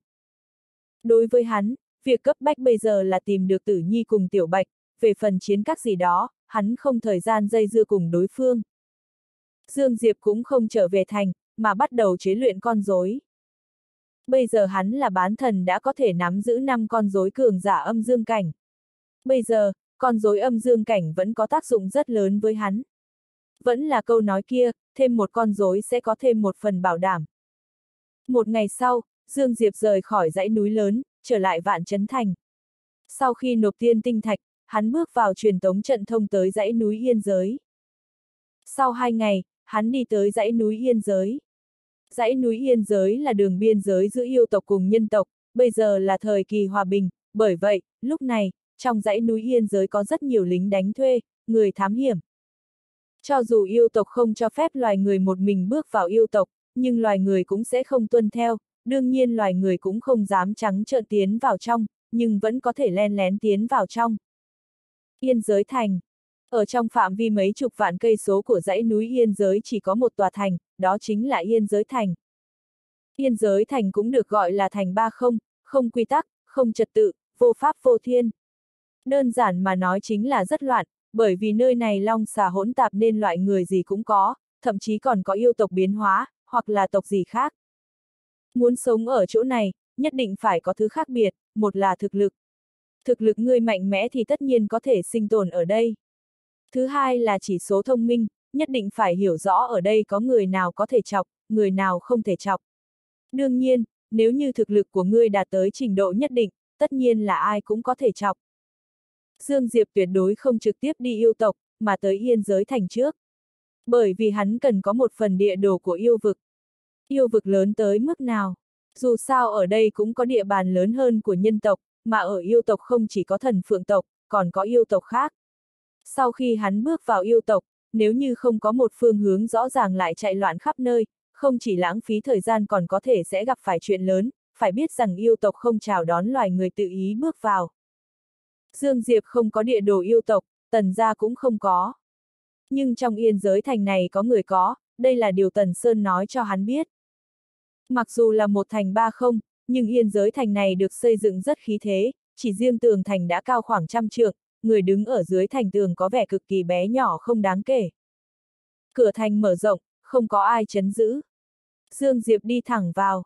Dương Diệp phát hiện bên trong có rất nhiều ánh mắt cùng thần thức lập tức rơi vào trên người hắn, đặc biệt là những thần thức kia chỉ vừa rơi vào trên người hắn đã bắt đầu không chút kiêng kỵ. Rõ ràng, đây là thấy hắn chỉ là bán thần. Dương Diệp không để ý tới những ánh mắt cùng thần thức này, mà đi về phía trong thành, không bao lâu, Dương Diệp đột nhiên ngừng lại, một nữ tử mặc váy da màu đen xuất hiện ở trước mặt Dương Diệp. Nhìn bề ngoài, nữ tử này chừng 30 tuổi, dáng người cực kỳ nóng bỏng cũng siêu lộ, trên người chỉ có một tấm da mỏng che ngực được quấn rất chặt, căng lên bởi bộ ngực cực lớn giống như muốn rách ra vậy. Phía dưới nàng chỉ có một cái váy da che mông, nếu như kéo lên một chút thì có thể nhìn thấy cảnh xuân. Mặc dù gương mặt nữ tử này không tới mức nghiêng nước nghiêng thành, nhưng cũng coi như là xinh đẹp, cộng thêm bộ trang phục này khiến nàng càng thêm mê người. Nữ tử đi tới trước mặt Dương Diệp và liếc nhìn hắn, sau đó nói. Tiểu huynh đệ mới lần đầu tiên tới yên giới thành sao. Dương Diệp đàng hoàng gật đầu. Thấy vậy, nữ tử kia cười khanh khách, sau đó cười nói. Tiểu huynh đệ thật lớn gan, mới bán thần đã dám tới đây mà không sợ mất mạng sao. Dương Diệp khẽ gật đầu, nói. Có hơi sợ. Nữ tử tới gần Dương Diệp, lúc này không cười nữa nói. Tiểu huynh đệ, chiếc nhẫn chứa vật trên tay ngươi không tệ, tỷ tỷ ta coi trọng nó. Ngươi đưa cho tỷ tỷ được không? Đánh cướp. Dương Diệp liếc nhìn nữ tử và đang muốn nói, đúng lúc này, một thanh đao lớn đột nhiên từ phía xa xuyên qua không trung lao đến, mục tiêu chính là Dương Diệp. Nhìn thấy thanh đao lớn này, hai mắt Dương Diệp híp lại, hắn đang muốn ra tay thì nữ tử kia đã đi trước một bước, ở trong tay nàng tự nhiên xuất hiện một thanh đoàn kiếm. Nàng cầm đoàn kiếm và hất về phía trước, thanh đao lớn này trực tiếp bị đánh bay. Nữ tử nhìn về phía một người đại hán trung tuổi, lạnh giọng nói. Nam bá, người muốn phá hỏng quy định sao? Quy định. Đại hán trung tuổi cười lạnh. Ngọc Kiều Nương, ta thấy có chút tò mò, lần này ngươi lại không trực tiếp hạ tay, chẳng lẽ coi trọng tên mặt trắng nhỏ này sao? Ngọc Kiều Nương cười lạnh. Ta coi trọng hắn thì làm sao? Nam bá đang muốn nói, lúc này, Dương Diệp đột nhiên đi vào trong thành. Nhìn thấy Dương Diệp muốn rời đi, Ngọc Kiều Nương liền ngẩn người, theo bản năng muốn gọi Dương Diệp lại, nhưng không biết vì nguyên nhân gì, miệng nàng mở ra lại không phát ra tiếng. Mà lúc này, Nam bá đột nhiên gần giọng nói. Lão tử đã cho ngươi đi chưa? Lúc này, Dương Diệp đột nhiên xoay người nhìn về phía Nam bá, vào giây phút đó, hai mắt hắn lập tức biến thành một biển máu, không chỉ mắt, ngay cả toàn thân cũng biến thành màu đỏ tươi. Dương Diệp chậm rãi đi về phía Nam bá, mỗi bước hắn đi, trên mặt đất sẽ xuất hiện một vết chân máu, hai mắt đỏ như máu của hắn nhìn chằm chằm Nam bá. Ngươi mới vừa nói gì? Ta không nghe rõ, nếu không, ngươi nói lại một lần nữa. Bất kể là Ngọc Kiều Nương hay Nam bá đều ngây người. Sát ý. Sát ý cảnh giới nửa bước quy nguyên. Vẻ mặt Nam bá chợt trắng bệch, hắn biết lần này mình đã phải tấm sắt cứng rồi. Hắn tuyệt đối không thể chống lại người có thể lĩnh ngộ sát ý cảnh giới nửa bước quy nguyên. Nhìn thấy Dương Diệp vẫn đang đi về phía hắn, Nam bá vội vàng nói. Ta, ta không nói lời nào, thật sự không nói lời nào. Mặc dù có chút mất mặt, nhưng ít nhất vẫn tốt hơn mất mạng. Dương Diệp dừng bước, trong phút chốc những huyết khí cùng sát ý lập tức lùi về trong cơ thể hắn. Hắn liếc nhìn Nam Bá, sau đó quay đầu nhìn về phía Ngọc Kiều Nương, nói. Còn muốn nhẫn chứa đồ không? Ngọc Kiều Nương thoáng biến sắc, theo bản năng lùi về phía sau mấy bước, sau đó nói. Là ta có mắt không nhìn được chân nhân, mong rằng các hạ tha thứ cho chuyện lúc trước. Dương Diệp liếc mắt nhìn Ngọc Kiều Nương. Vẫn còn tạm được, không đến mức không chịu nổi. Nghe thấy Dương Diệp nói vậy, vẻ mặt Nam MC bá có chút khó coi, hắn tất nhiên biết Dương Diệp đang nói hắn, tuy nhiên hắn cũng không dám nói gì, lập tức xoay người biến mất. Dương Diệp cũng không giết đối phương, hắn không cơ muốn lãng phí huyền khí cho loại người này. Ánh mắt Dương Diệp nhìn Ngọc Kiều Nương. Ta muốn hỏi thăm một chuyện, ta muốn đi yêu vực, nhưng chưa quen thuộc yêu vực, người có cách nào không? Ngọc Kiều Nương liếc nhìn Dương Diệp, sau đó lắc đầu. Ta chưa từng đi qua yêu vực, tuy nhiên có một nơi nhất định là có địa đồ của yêu vực, nhưng người phải bỏ ra cái giá nhất định mới có thể nhận được. Chỗ nào? Dương Diệp hỏi. Ngọc Kiều Nương do dự một lúc, sau đó nói. Ta dẫn ngươi đi. Dương Diệp khẽ gật đầu, nói. Cảm ơn. Ngọc Kiều Nương khẽ gật đầu, sau đó xoay người đi sâu vào trong thành, Dương Diệp đi theo. Một điều đáng để nói là những thần thức quan sát hắn không kiêng nể gì trước đó đều được thu về, không chỉ vậy, ánh mắt một số người xung quanh cũng thu về, cho dù có người còn đang nhìn hắn, nhưng trong mắt cũng không có sự thù địch, chỉ là tò mò. Thực lực. Trước đó, sở dĩ hắn thể hiện ra sát ý chính là vì điều này, hắn không sợ chuyện, nhưng cũng không muốn gây chuyện, cho nên hắn thể hiện ra sát ý, kể từ đó, những người vốn muốn đánh chủ ý vào hắn ý tự nhiên sẽ buông tha. Sau khi đi tới đại thế giới, Dương Diệp phát hiện đại thế giới cùng hạ vị diện thật ra cũng không khác nhau quá nhiều, điểm khác biệt duy nhất chính là linh khí ở đây quả thật dồi dào hơn. Đương nhiên, còn có một điểm nữa, chính là cường giả phía trên này cũng nhiều hơn hạ vị diệt. mặc dù không có thần giả giống như chó đầy đất, nhưng cũng thực sự không ít. Rất nhanh, ở dưới sự hướng dẫn của Ngọc Kiều Nương, hai người đi tới tử quán có tên là tử quản Tiểu Dương. Tử quán rất lớn, chiếm một phần mười diện tích của Yên Giới Thành. Nói là tử quán nhưng thật ra chính là một nơi giao dịch. Ở bên trong này có sòng bạc, mỹ sắc, đấu giá, chỉ cần là thứ ngươi có thể nghĩ tới thì ở đây đều có. Cũng không phải tất cả huyền giả đều thanh tâm quả dục, chỉ muốn tu luyện. Rất nhiều huyền giả càng thích hưởng lạc hơn, cho nên ở trên đại lục có không ít chỗ ăn chơi. Ngươi vào trong đi. Tới trước cửa, Ngọc Kiều Nương đột nhiên nói. Ngươi không tiến vào trong sao? Dương Diệp hỏi. Ngọc Kiều Nương lắc đầu. Vào cửa một lần phải tốn một vạn tiên tinh thạch. Vào cửa một lần lại mất một vạn tiên tinh thạch sao? Dương Diệp kinh ngạc nói. Vậy không phải là thổ phỉ sao? Ngọc Kiều Nương thoáng biến sắc, nói. Ngươi đừng nói lung tung, cẩn thận họa từ trong miệng mà ra đấy. Thế nào? Dương Diệp không hiểu. Ngọc Kiều Nương do dự một lúc, sau đó nói. Tử quán Tiểu Dương không có khả năng là thế lực đơn giản, trong đó có rất nhiều cường giả, đặc biệt chủ nhân của tử quán kia không chỉ có thực lực cường đại, còn đặc biệt thần bí, nói chung ngươi cẩn thận một chút vẫn tốt hơn. Tử quán Tiểu Dương này là thế lực mấy sao? Dương Diệp hỏi. Ngọc Kiều Nương lắc đầu, nói. Không biết, bởi vì từ trước tới nay hắn chưa từng cho thấy thực lực chân chính.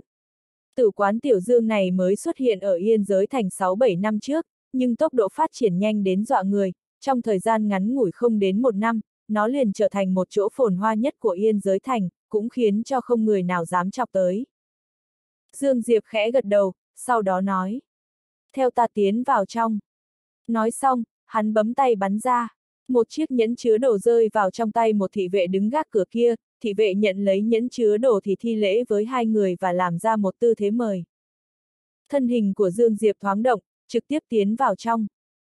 Ngọc Kiều Nương liếc nhìn Dương Diệp, sau đó cũng lập tức đi vào. Trước mặt hai người Dương Diệp là một đài truyền tống, ở trên đài truyền tống có thật nhiều loại truyền tống trận nhỏ, trước mỗi một loại truyền tống trận nhỏ đều viết nơi truyền tống, ví dụ như ôn nhu hương, hoan nhạc cư gì đó. Còn có có ít nhất hơn 10 buổi đấu giá. Dương Diệp nhìn về phía Ngọc Kiều Nương, Ngọc Kiều Nương nói. Chúng ta đi tới Bách Sự Các. Dương Diệp khẽ gật đầu, sau đó cùng Ngọc Kiều Nương bước vào trong truyền tống trận thông Bách Sự Các. Một hơi thở sau, Dương Diệp cùng Ngọc Kiều Nương xuất hiện ở trong một gian lầu các, lầu các cũng hơi lớn, có 6 tầng 7, hơn nữa người cũng hơi nhiều. Nơi này chuyên môn cung cấp tin tức tình báo. Ngọc Kiều Nương nói. Tuy nhiên nó sẽ thu phí, hơn nữa còn thu không thấp đâu. Tìm ai? Dương Diệp nói. Ngọc Kiều Nương chỉ vào một gian phòng phía xa, sau đó nói. Người ở bên trong. Dương Diệp nhìn lướt qua, phát hiện có trên một chăn gian phòng như vậy ở đó. Kiếm tiền. Đây là ý nghĩ đầu tiên của Dương Diệp. Tiền có lúc khiến hắn rất coi trọng, có lúc lại không quá lưu ý. Khi coi trọng là bởi vì kiếm minh cùng thiên vân tinh vực cần phải thời gian. Mà chính hắn chỉ cần đủ là được, nhưng không thể phủ định là khi tiền đạt tới trình độ nhất định sẽ đặc biệt khủng khiếp. Công pháp, huyền kỳ các loại đều có thể dùng tiền mua được. Lại như bây giờ, nếu như hắn không có tiên tinh thạch, như vậy hắn sẽ không có cách nào nhận được địa đồ yêu tộc. Rất nhanh, bên trong căn phòng kia có một người đi ra, lúc này, Ngọc Kiều Nương nói, đi thôi. Dương Diệp khẽ gật đầu, cơ thể thoáng di chuyển bước vào trong gian phòng. Gian phòng chỉ có một nữ tử chừng 20 tuổi, gương mặt thanh tú, trên mặt tươi cười ôn hòa. Khi thấy Dương Diệp lúc, nữ tử hơi ngấn người ra, trong mắt lóe lên sự kinh ngạc, nhưng chẳng bao lâu đã khôi phục bình thường. Xin hỏi quý khách cần gì? Nữ tử hỏi. Dương Diệp nhìn lướt qua xung quanh, ở đây tuyệt đối không bảo vệ, nhưng ở bên trong lầu các này lại có vài khí thức không rõ ràng, rõ ràng đây là cường giả âm dương cảnh. Dương Diệp thu hồi mạch suy nghĩ và nhìn về phía nữ tử trước mặt. Ta cần một phần địa đồ yêu tộc. Địa đồ yêu tộc. Nữ tử liếc nhìn Dương Diệp, sau đó khẽ nói. Địa đồ yêu tộc cần 10 vạn tiên tinh thạch. 10 vạn tiên tinh thạch. Biểu tình của Dương Diệp cứng đờ, hắn không ngờ được một phần địa đồ lại tốn 10 vạn tiên tinh thạch, đây không phải là cướp tiền sao. Nhưng hắn cũng không có cách nào, đây vốn chính là chuyện người tình ta nguyện, dù sao người ta cũng không ép buộc hắn mua. Cũng may trước đó hắn giết bốn gã cường giả âm dương cảnh, thu được hơn 100 vạn tiên tinh thạch, cho nên vẫn có thể lấy ra 10 vạn tiên tinh thạch này.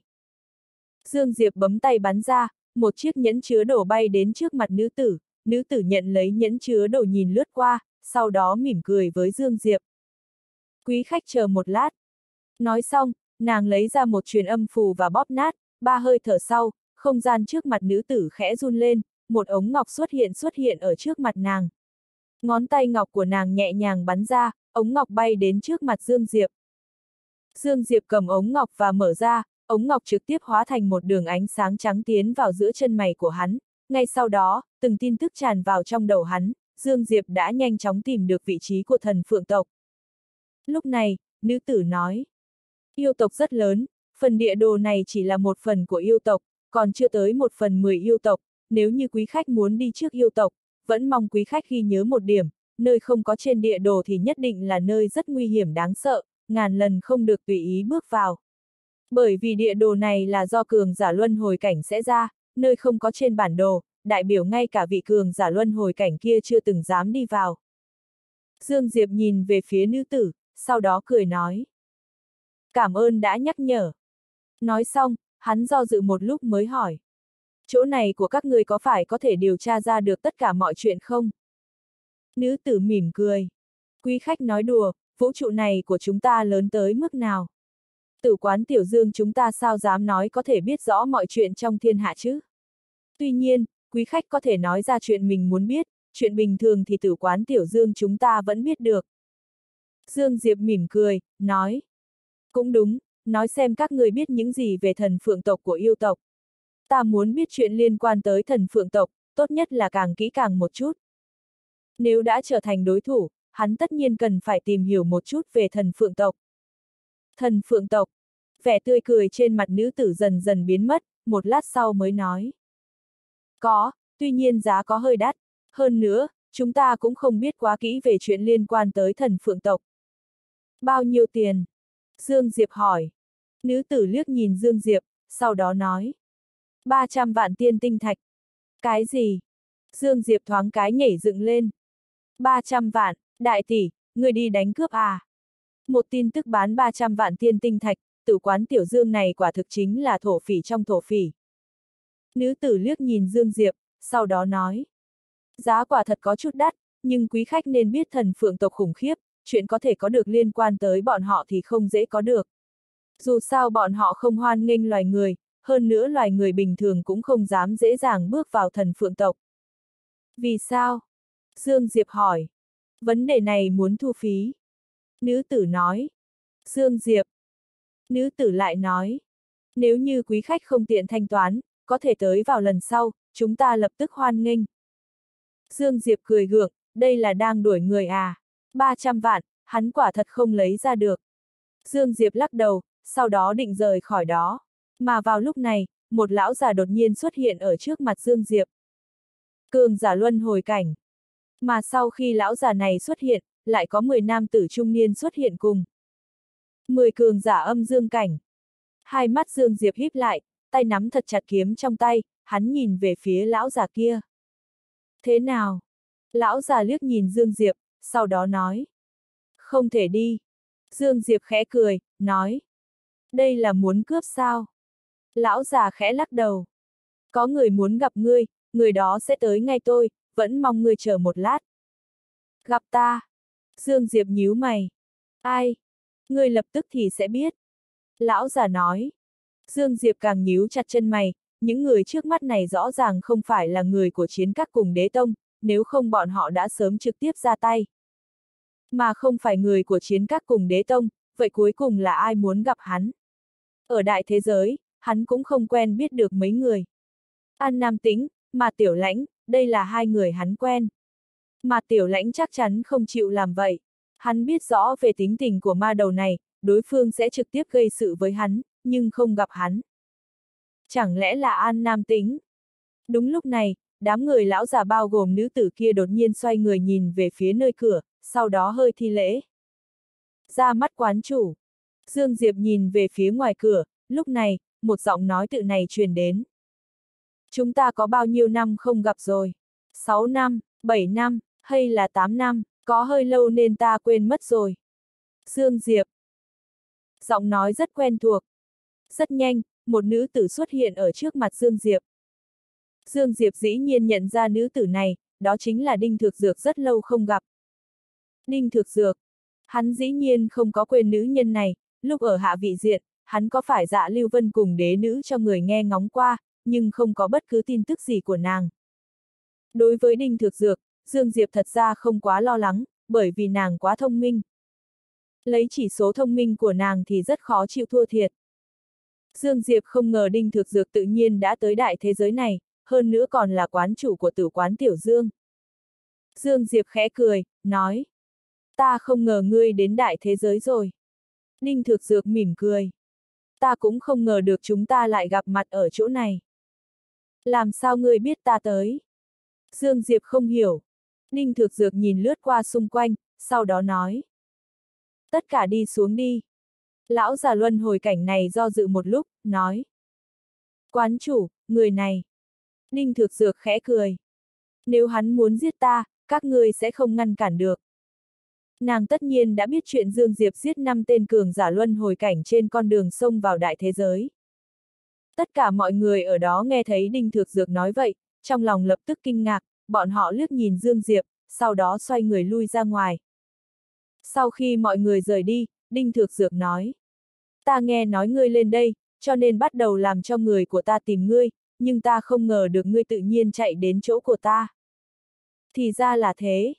Dương Diệp khẽ gật đầu, nói. thược Dược, sao nàng có thể xuất hiện ở đây đại thế giới? Ninh thược Dược nói. Năm đó, sau khi ta từ đại lục huyền giả đi tới linh giới, khi ở trong thành tiếp dẫn, ta gặp phải một người, cũng chính là sư phụ của ta bây giờ, bởi vì nàng đã làm việc xong, cho nên lại dẫn ta theo. Sư phụ của ngươi, người nào? Dương Diệp hỏi. Gia chủ của tư đồ gia. Ninh Thược Dược nói. Tư đồ gia là một thế lực lục tinh, cũng chính bởi vì nàng trợ giúp, cho nên ta mới có thể xây dựng một thế lực ở chỗ này. Nói đến đây, khóe miệng nàng cong lên đầy rảo hoạt. Người biết vì sao ở đây gọi là tử quán Tiểu Dương sao? Dương Diệp lắc đầu. Con dê nhỏ, Tiểu Dương, hiểu chưa? Ninh Thực Dược cười nói. Con dê nhỏ. Dương Diệp ngẩn người, sau đó lắc đầu cười nói. Bất kể như thế nào, người không sao là được rồi.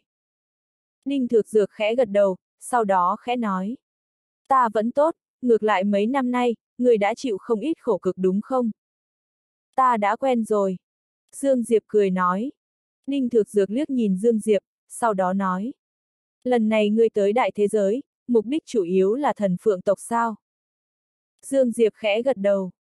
Ngươi biết bao nhiêu về thế lực này? Không phải rất nhiều. Ninh Thược Dược trầm giọng nói. Yêu tộc không cho phép loài người tự ý bước vào, cho dù có người bước vào yêu tộc cũng không dám tới gần thần phượng tộc. Thần thực lực của phượng tộc rốt cuộc mạnh tới mức nào, đây là một chuyện không biết rõ được, bởi vì đã rất rồi gia tộc này không xuất hiện qua ở trong tầm mắt của loài người.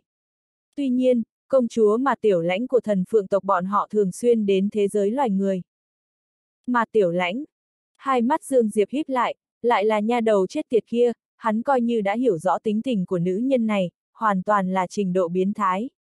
Nàng muốn thì sẽ cầm, đồng thời còn cho rằng ngươi chắc hẳn phải cho nàng, nếu ngươi không cho, nàng lại cướp. Giống như tử nhi cùng tiểu bạch không theo nàng, nàng lại cưỡng đoạt. Lúc này, Đinh Thược Dược đột nhiên nói. Đừng đi tới thần phượng tộc. Vì sao? Dương Diệp nhíu mày. Đinh Thược Dược lắc đầu. Ta biết thực lực của ngươi bây giờ rất mạnh, nhưng thần phượng tộc mạnh hơn ngươi nhiều. Bây giờ ngươi đi thần phượng tộc, không chỉ không dẫn được người về, còn kéo cả bản thân vào trong. Dương Diệp im lặng. Ninh Thực Dược lại nói. Có phải ngươi muốn dở thủ đoạn sau lưng không? Dương Diệp khẽ gật đầu, hắn đương nhiên sẽ không đánh thần phượng tộc ngoài sáng, bởi vì hắn chắc chắn không làm gì được, cho dù có thể lại thi triển ngân hà kiếm đồ, chắc chắn cũng vậy thôi. Nhưng ở đại thế giới này, hắn không có ràng buộc, hắn có thể dở thủ đoạn. Ta không làm với ngươi ngoài sáng, chúng ta làm trong tối. Ninh Thực Dược lắc đầu. Không được. Vì sao? Dương Diệp không hiểu. Ninh Thực Dược nói. Nếu như là ở bên ngoài, người nắm giữ kiếm vực che giấu khí thức của mình, có lẽ có thể ngầm dở trò với đối phương. Nhưng ở bên trong yêu vực lại không được. Đầu tiên, thần phượng tộc có rất nhiều cường giả luân hồi cảnh, ít nhất phải nắm giữ hơn 20 người. Thứ hai, thần phượng tộc có tốc độ rất nhanh, nhanh vô cùng, người chỉ cần có chút sai lầm, người sẽ bị ít nhất hơn 10 vị cường giả luân hồi cảnh bao vây tấn công. Cuối cùng, cho dù ngươi không có sai lầm, lấy sức một mình ngăn chặn thần phượng tộc, nhưng ngươi có thể tiêu diệt được thần phượng tộc sao? Hơn nữa, thần phượng tộc còn có đồng minh, nếu như bọn họ xin giúp đỡ, ngươi ở bên trong yêu vực có chạy đằng trời. Im lặng một lát, Dương Diệp cười gượng. Ban đầu ta rất có lòng tin, nhưng vừa nghe ngươi phân tích như thế, ta cũng có phần không dám đi. Ninh Thực Dược khẽ nói. Mục đích của ngươi là cứu người, mà không phải diệt thần phượng tộc, cho nên ngươi không thể làm loạn, nếu như người sống đến thần phượng tộc, người không cứu được, ngược lại còn làm cho mình rơi. Vào trong cuộc đuổi giết vô cùng vô tận, mà lúc này, chiến các cùng đế tông chắc chắn sẽ không khoanh tay đứng nhìn, bọn họ sẽ thêm một cây đuốc, khi đó cuộc sống của người mới thật sự khổ sở. Người có cách gì không? Dương Diệp nhìn về phía đinh thực dược, Nếu như có thể, hắn đương nhiên không muốn liều mạng cùng thần phượng tộc, dù sao mục đích của hắn chỉ là tiểu bạch cùng tử nhi. Nhưng thần phượng tộc sẽ trả lại tử nhi cùng tiểu bạch cho hắn sao? Đây còn không phải là điểm chính, điểm chính là hắn sợ thần phượng tộc tổn thương tới tử nhi cùng tiểu bạch. Ninh thực dược im lặng trong chớp mắt, sau đó nói. Ta sẽ cho người đi hỏi thăm một chút, xem tử nhi và tiểu bạch ngươi muốn tìm bây giờ thế nào. Dương Diệp nói. Người của ngươi có thể đi sâu vào thần phượng tộc sao? Ninh thực dược lắc đầu. Dương Diệp cười nói. Cho nên vẫn cứ để bản thân ta đi. Ở trên phương diện ẩn nấp, ta tin tưởng cho dù là cường giả luân hồi cảnh cũng không mạnh hơn ta. Ninh Thược dược nhìn Dương Diệp, nói. Người đi thì sẽ xảy ra chuyện. Dương Diệp cười gượng nói. Ta ở trong lòng ngươi là loại người thích gây ra họa sao? Ninh Thược dược khẽ gật đầu. Ngươi không phải thích gây ra họa, ngươi đặc biệt giỏi gây ra họa. Nàng dừng lại một lát, sau đó nói. Ngươi muốn đi thì ta không phản đối, nhưng ngươi phải đáp ứng ta, thật sự không nên làm loạn. Ở yêu tộc ngươi làm loạn thì có thể sẽ bị bao vây tấn công, đó là yêu tộc, là địa bàn của yêu thú, một khi bị bao vây tấn công, người rất khó trốn ra được. Dương Diệp cười nói. Yên tâm, ta sẽ không làm loạn, ta bảo đảm. Ninh Thực Dược lắc đầu. Ngươi càng nói như vậy, ta càng lo lắng. Dương Diệp. Lúc nào đi? Ninh Thược Dược nói. Bây giờ. Dương Diệp nói. Ninh Thược Dược nhíu mày. Nhanh như vậy. Dương Diệp khẽ gật đầu. Ta không muốn lãng phí thời gian. Ninh Thược Dược im lặng một lát, sau đó nói. Cẩn thận, đúng rồi, có chuyện ngươi phải chú ý một chút, chính là có người đang tìm ngươi. Tìm ta. Dương Diệp nhíu mày. Chiến các và đế tông sao? Ninh Thược Dược lắc đầu. Không biết thân phận đối phương, tuy nhiên chắc hẳn không phải là chiến các cùng đế tông, bởi vì đối phương tìm là một người lĩnh ngộ sát ý cảnh giới nửa bước quy nguyên, hơn nữa đối phương miêu tả bề ngoài chính là ngươi. Ai đang tìm mình nhỉ? Dương Diệp nhíu mày trầm tư một chút, sau đó lắc đầu. Không quan tâm, đúng rồi, người giúp ta điều tra một người, An Nam tính Nàng đã đi tới đại thế giới, nhưng ta không biết ở đâu. Người giúp ta điều tra một chút. Ninh Thược Dược khẽ gật đầu. Ta sẽ thu xếp người đi thăm dò. Đúng rồi, người phụ nữ bên ngoài kia. Dương Diệp nói. Ta mới biết trong thành thôi, vừa tới nên chưa quen, ta phải tìm một người. Ninh Thực Dược thoáng cong khóe miệng và cười khẽ. Nhưng người thật biết tìm đấy. Đó là một đại mỹ nữ. Dương Diệp cười gượng, sau đó nói. Nếu không có chuyện gì khác, vậy ta đi trước đây. Dương Diệp nói xong, thân hình run lên và lập tức biến mất. Sau khi rời khỏi tử quán Tiểu Dương, Dương Diệp nhanh chóng ra khỏi yên giới thành, sau đó chạy về phía dãy núi yên giới. Tốc độ của Dương Diệp rất nhanh, trong chớp mắt đã bước vào trong núi lớn mênh mông này. Mà sau khi Dương Diệp rời khỏi yên giới thành khoảng một canh giờ sau, một nam tử mặc áo bảo màu đen đi tới bên ngoài yên giới thành, toàn thân hắn đều bị một cái áo bảo đen bao phủ, ở trong tay hắn cầm một thanh kiếm màu đỏ tươi. Ở trên người hắn tản ra sát ý như có như không, sát ý rất sắc bén, khiến người ta nghe cảm thấy e sợ. Nam tử mặc áo bào màu đen ngẩng đầu liếc nhìn qua yên giới thành và đang muốn vào thành, đúng lúc này lại có một lão già xuất hiện ở cửa thành yên giới thành ngăn cản đường đi của nam tử mặc áo bào màu đen. Cường giả luân hồi cảnh. Lão già kia chậm rãi đi về phía nam tử mặc áo bào màu đen. Thật hay cho huyết kiếm yêu quân, trước đây ngươi chẳng qua phát sinh một điểm mâu thuẫn với người của chiến các, ngươi lại tiêu diệt một thành của chiến các ta, sau đó lại ngay cả giết mấy cường giả âm dương cảnh của chiến các ta, đồng thời còn nói muốn không chết không dừng cùng chiến các ta, không chết không dừng. Ha ha, huyết kiếm yêu quân, ngươi trở nên phách lối như vậy từ lúc nào thế? Lá gan của ngươi lớn như thế từ lúc nào? Dưới áo bảo màu đen, vẻ mặt nam tử kia cực kỳ khó coi. Ta chưa từng nói qua. Chưa nói qua. Lão già cười lạnh.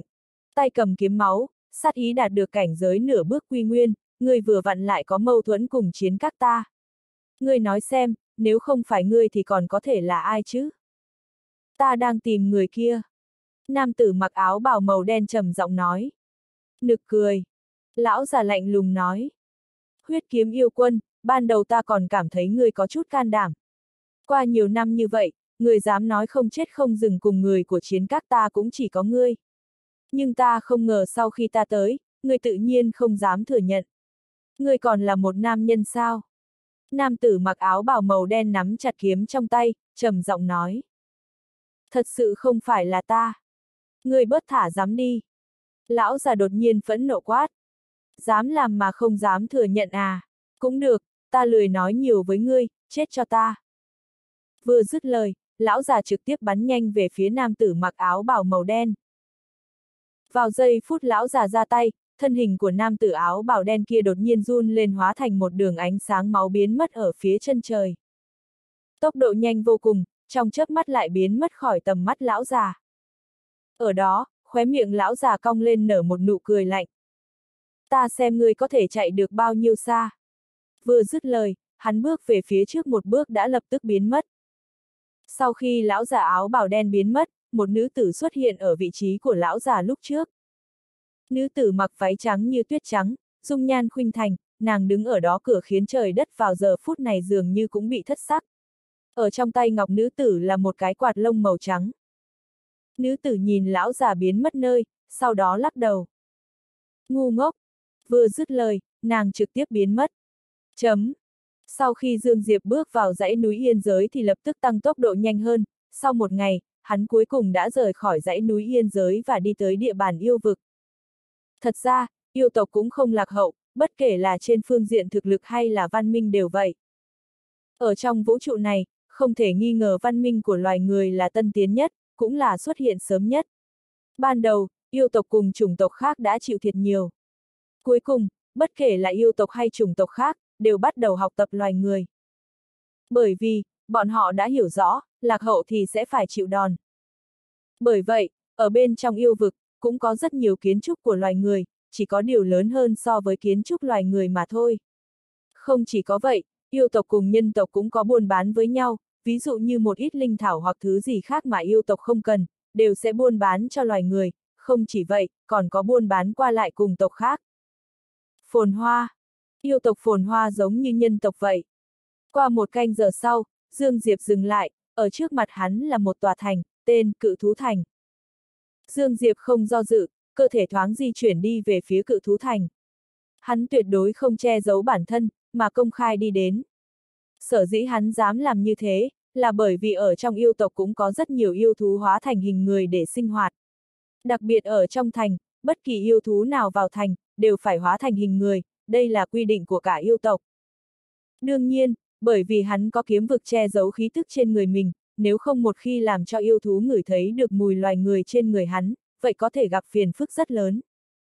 Truyền tống Sở dĩ Dương Diệp tiến cự thú thành là bởi vì muốn thông qua cự thú thành truyền tống đến thần phượng tộc, cũng chính là phượng vực. Trong thế giới yêu vực có rất nhiều yêu tộc, mà vài tộc quần mạnh mẽ sẽ mở ra thế giới của riêng mình, cũng chính là vực. Khu vực của thần phượng tộc chính là phượng vực, nếu như không cần truyền tống trận, hắn bay một tháng cũng không chắc có thể bay đến phượng vực. Người trong thành đều có dáng người rất khôi ngô, bất kể là nam hay nữ, bởi vậy khi Dương Diệp đi vào trong thành, hắn lập tức trở thành một ngoại tộc. Bởi vì một người nhỏ nhất cũng lớn hơn hắn. Dần dần, Dương Diệp phát hiện ánh mắt của những yêu thú xung quanh nhìn hắn có chút không tốt. Đúng lúc này, một đại hán trung tuổi xuất hiện ở trước mặt Dương Diệp. Loài người sao? Đại hán trung tuổi nhìn chằm chằm vào Dương Diệp. Nghe thấy đại hán trung tuổi nói vậy, rất nhiều yêu thú ở đó lập tức vây quanh.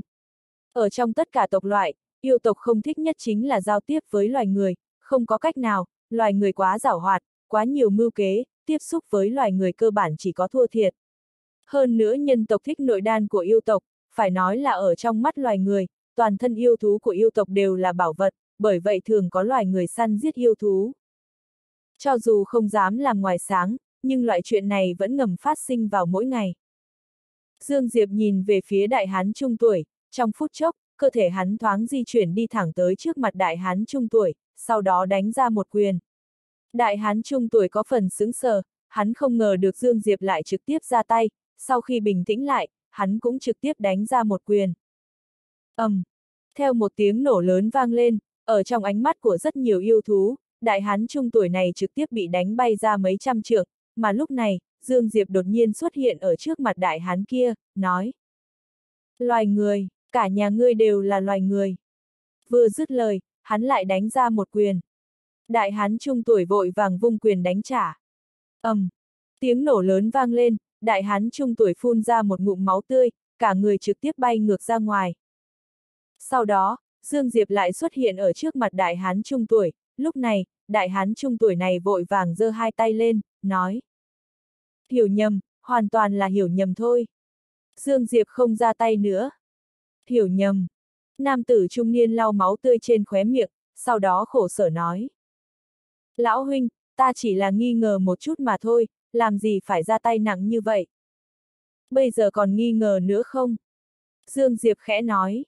Nam tử trung niên vội vàng khoát tay áo. Không nghi ngờ, loài người sao có thể có lực lượng mạnh như ngươi chứ? Lực lượng này của ngươi còn mạnh hơn yêu thú chúng ta nữa. Dương Diệp nhìn lướt qua những yêu thú xung quanh, những yêu thú kia thấy Dương Diệp nhìn qua thì đều vội vàng bỏ đi. Dương Diệp thể hiện ra thực lực rất mạnh, đặc biệt mạnh mẽ. Không có yêu thú nào bằng lòng đi trêu chọc một cường giả. Lúc này, nam tử trung niên kia đột nhiên nói. Ngươi là tộc gì, thực lực thật mạnh. Dương Diệp liếc mắt nhìn đối phương, sau đó nói.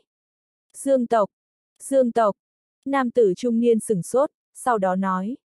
Sao có thể như vậy được, tộc nhỏ yếu như vậy. Nói đến đây, hắn dường như nghĩ đến cái gì, vội vàng câm miệng. Dương Diệp cũng sững sờ, hắn chỉ thuận miệng nói, nhưng không ngờ thật sự có dương tộc. Tuy nhiên ở trong miệng của nam tử trung niên này, hình như dương tộc có hơi yếu, tuy nhiên cũng tốt, rất yếu thì chắc chắn sẽ không làm người khác chú ý. Lúc này, nam tử trung niên cười gượng. Dương tộc có thực lực chỉnh thể yếu kém, chỉ có thể miễn cưỡng tính làm thế lực ngũ tinh, nhưng ta không ngờ được dương tộc tự nhiên có loại cường giả như ngươi, ngươi muốn đi tham gia hội vạn tộc sao? Hội vạn tộc? Dương Diệp không hiểu. Ngươi không biết à? Nam tử trung niên ngẩn người. Lúc này, Dương Diệp nói. Biết, đương nhiên biết rồi. Đúng rồi, người cũng tới tham gia hội vạn tộc sao? Nam tử trung niên khẽ gật đầu. Tất nhiên rồi, đây chính là một hội lớn 10 năm một lần của yêu tộc chúng ta, ta làm sao có thể bỏ qua. Dương Diệp do dự một lúc, sau đó bắt đầu nói chuyện cùng nam tử trung niên.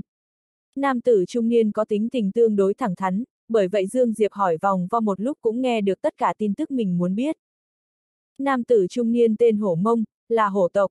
Hội vạn tộc này thật ra chính là một đại hội luận võ, tất cả tộc quần có thế lực của yêu tộc đều sẽ tham gia. Hội vạn tộc là do yêu tộc tổ chức, mục đích là để khích lệ thành viên trẻ tuổi trong yêu tộc, cũng là vì đoàn kết của tất cả yêu tộc. Ở đại thế giới này, nếu như yêu tộc không đoàn kết thì chờ đợi bọn họ chính là diệt vong. Cho dù là nhân tộc phức tạp nhất, một khi có ngoại tộc xâm nhập, nhân tộc cũng sẽ lập tức bỏ xuống ân oán, sau đó đoàn kết đối phó với bên ngoài. Chủng tộc không đoàn kết, cơ bản đều sẽ bị diệt vong. Tham gia đại hội luận võ này, Dương Diệp đã quyết định, bởi vì đại hội luận võ này có rất nhiều phần thưởng, một thưởng trong đó chính là đi tới thánh địa của thần phượng tộc, cũng chính là đất thánh cũ để tu luyện một tháng. Hắn không biết vùng đất thánh cũ này là ở đâu, nhưng hắn biết hắn có thể công khai bước vào nội bộ của thần phượng tộc. Trước đó hắn liền suy nghĩ xem làm thế nào tiến vào thần phượng tộc, len lén tiến vào trong thì có kiếm vực che giấu, ngược lại có thể, nhưng có thể đi vào bên trong thần phượng tộc sao? Khó khăn, đặc biệt khó khăn, hơn nữa còn có phiêu lưu lớn vô cùng. Nhưng hội vạn tộc này cũng chính là đại hội luận võ, chỉ cần có thể giành được ba vị trí đấu thì có thể bước vào vùng đất thánh cũ này. Ba giải đầu với hắn chắc hẳn không phải là vấn đề quá lớn. Đương nhiên hắn không thể lấy gương mặt bây giờ để đi, bởi vậy, Dương Diệp chuẩn bị đeo một cái mặt nạ, không che khuất tất cả gương mặt, chỉ là hơn nửa. Hổ mông cảm thấy khó hiểu về điều này, Dương Diệp mỉm cười. Dương tộc chúng ta yếu thế nên phải khiêm tốn, giấu mình một chút. Hổ mông khẽ gật đầu, nói. Cũng đúng, đúng rồi, Diệp Dương huynh, nếu chúng ta đều đi tham gia hội vạn tộc, không bằng kết bạn đi cùng vậy.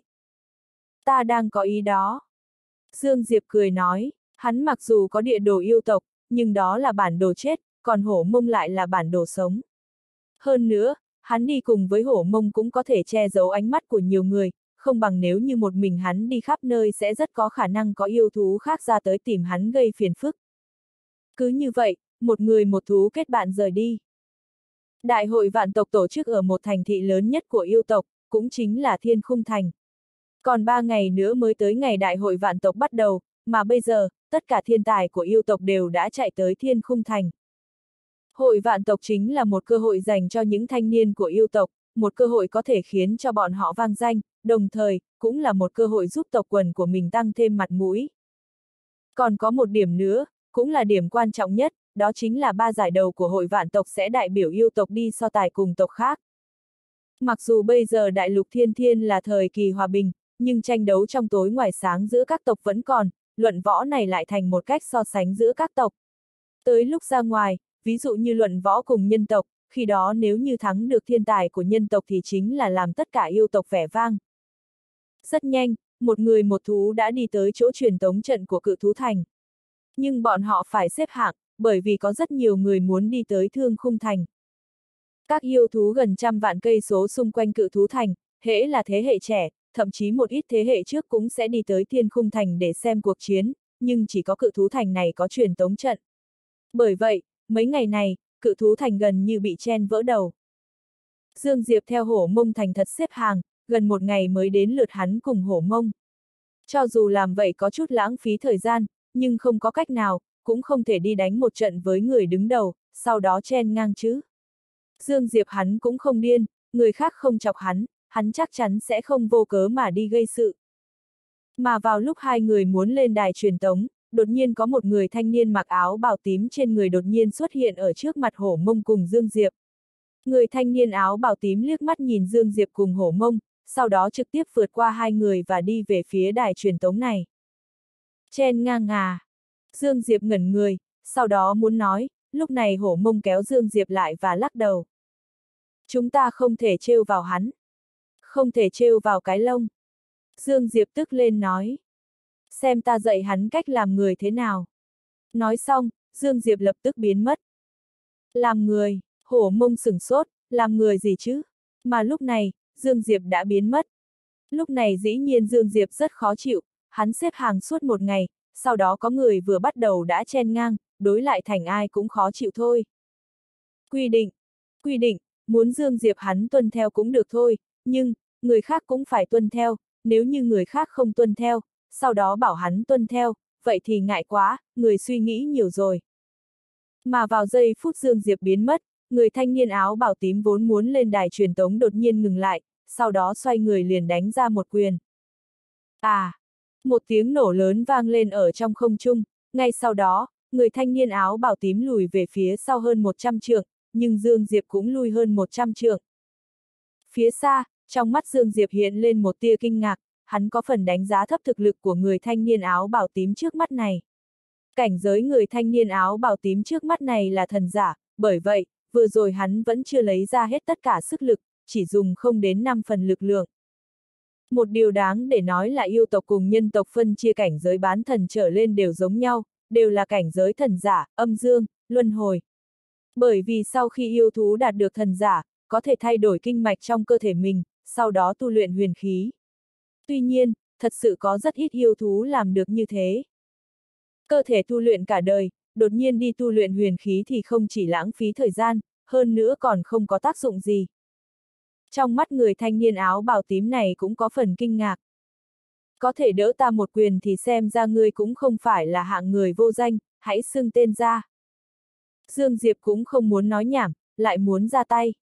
Mà lúc này, hổ mông đột nhiên kéo Dương Diệp lại, sau đó nói.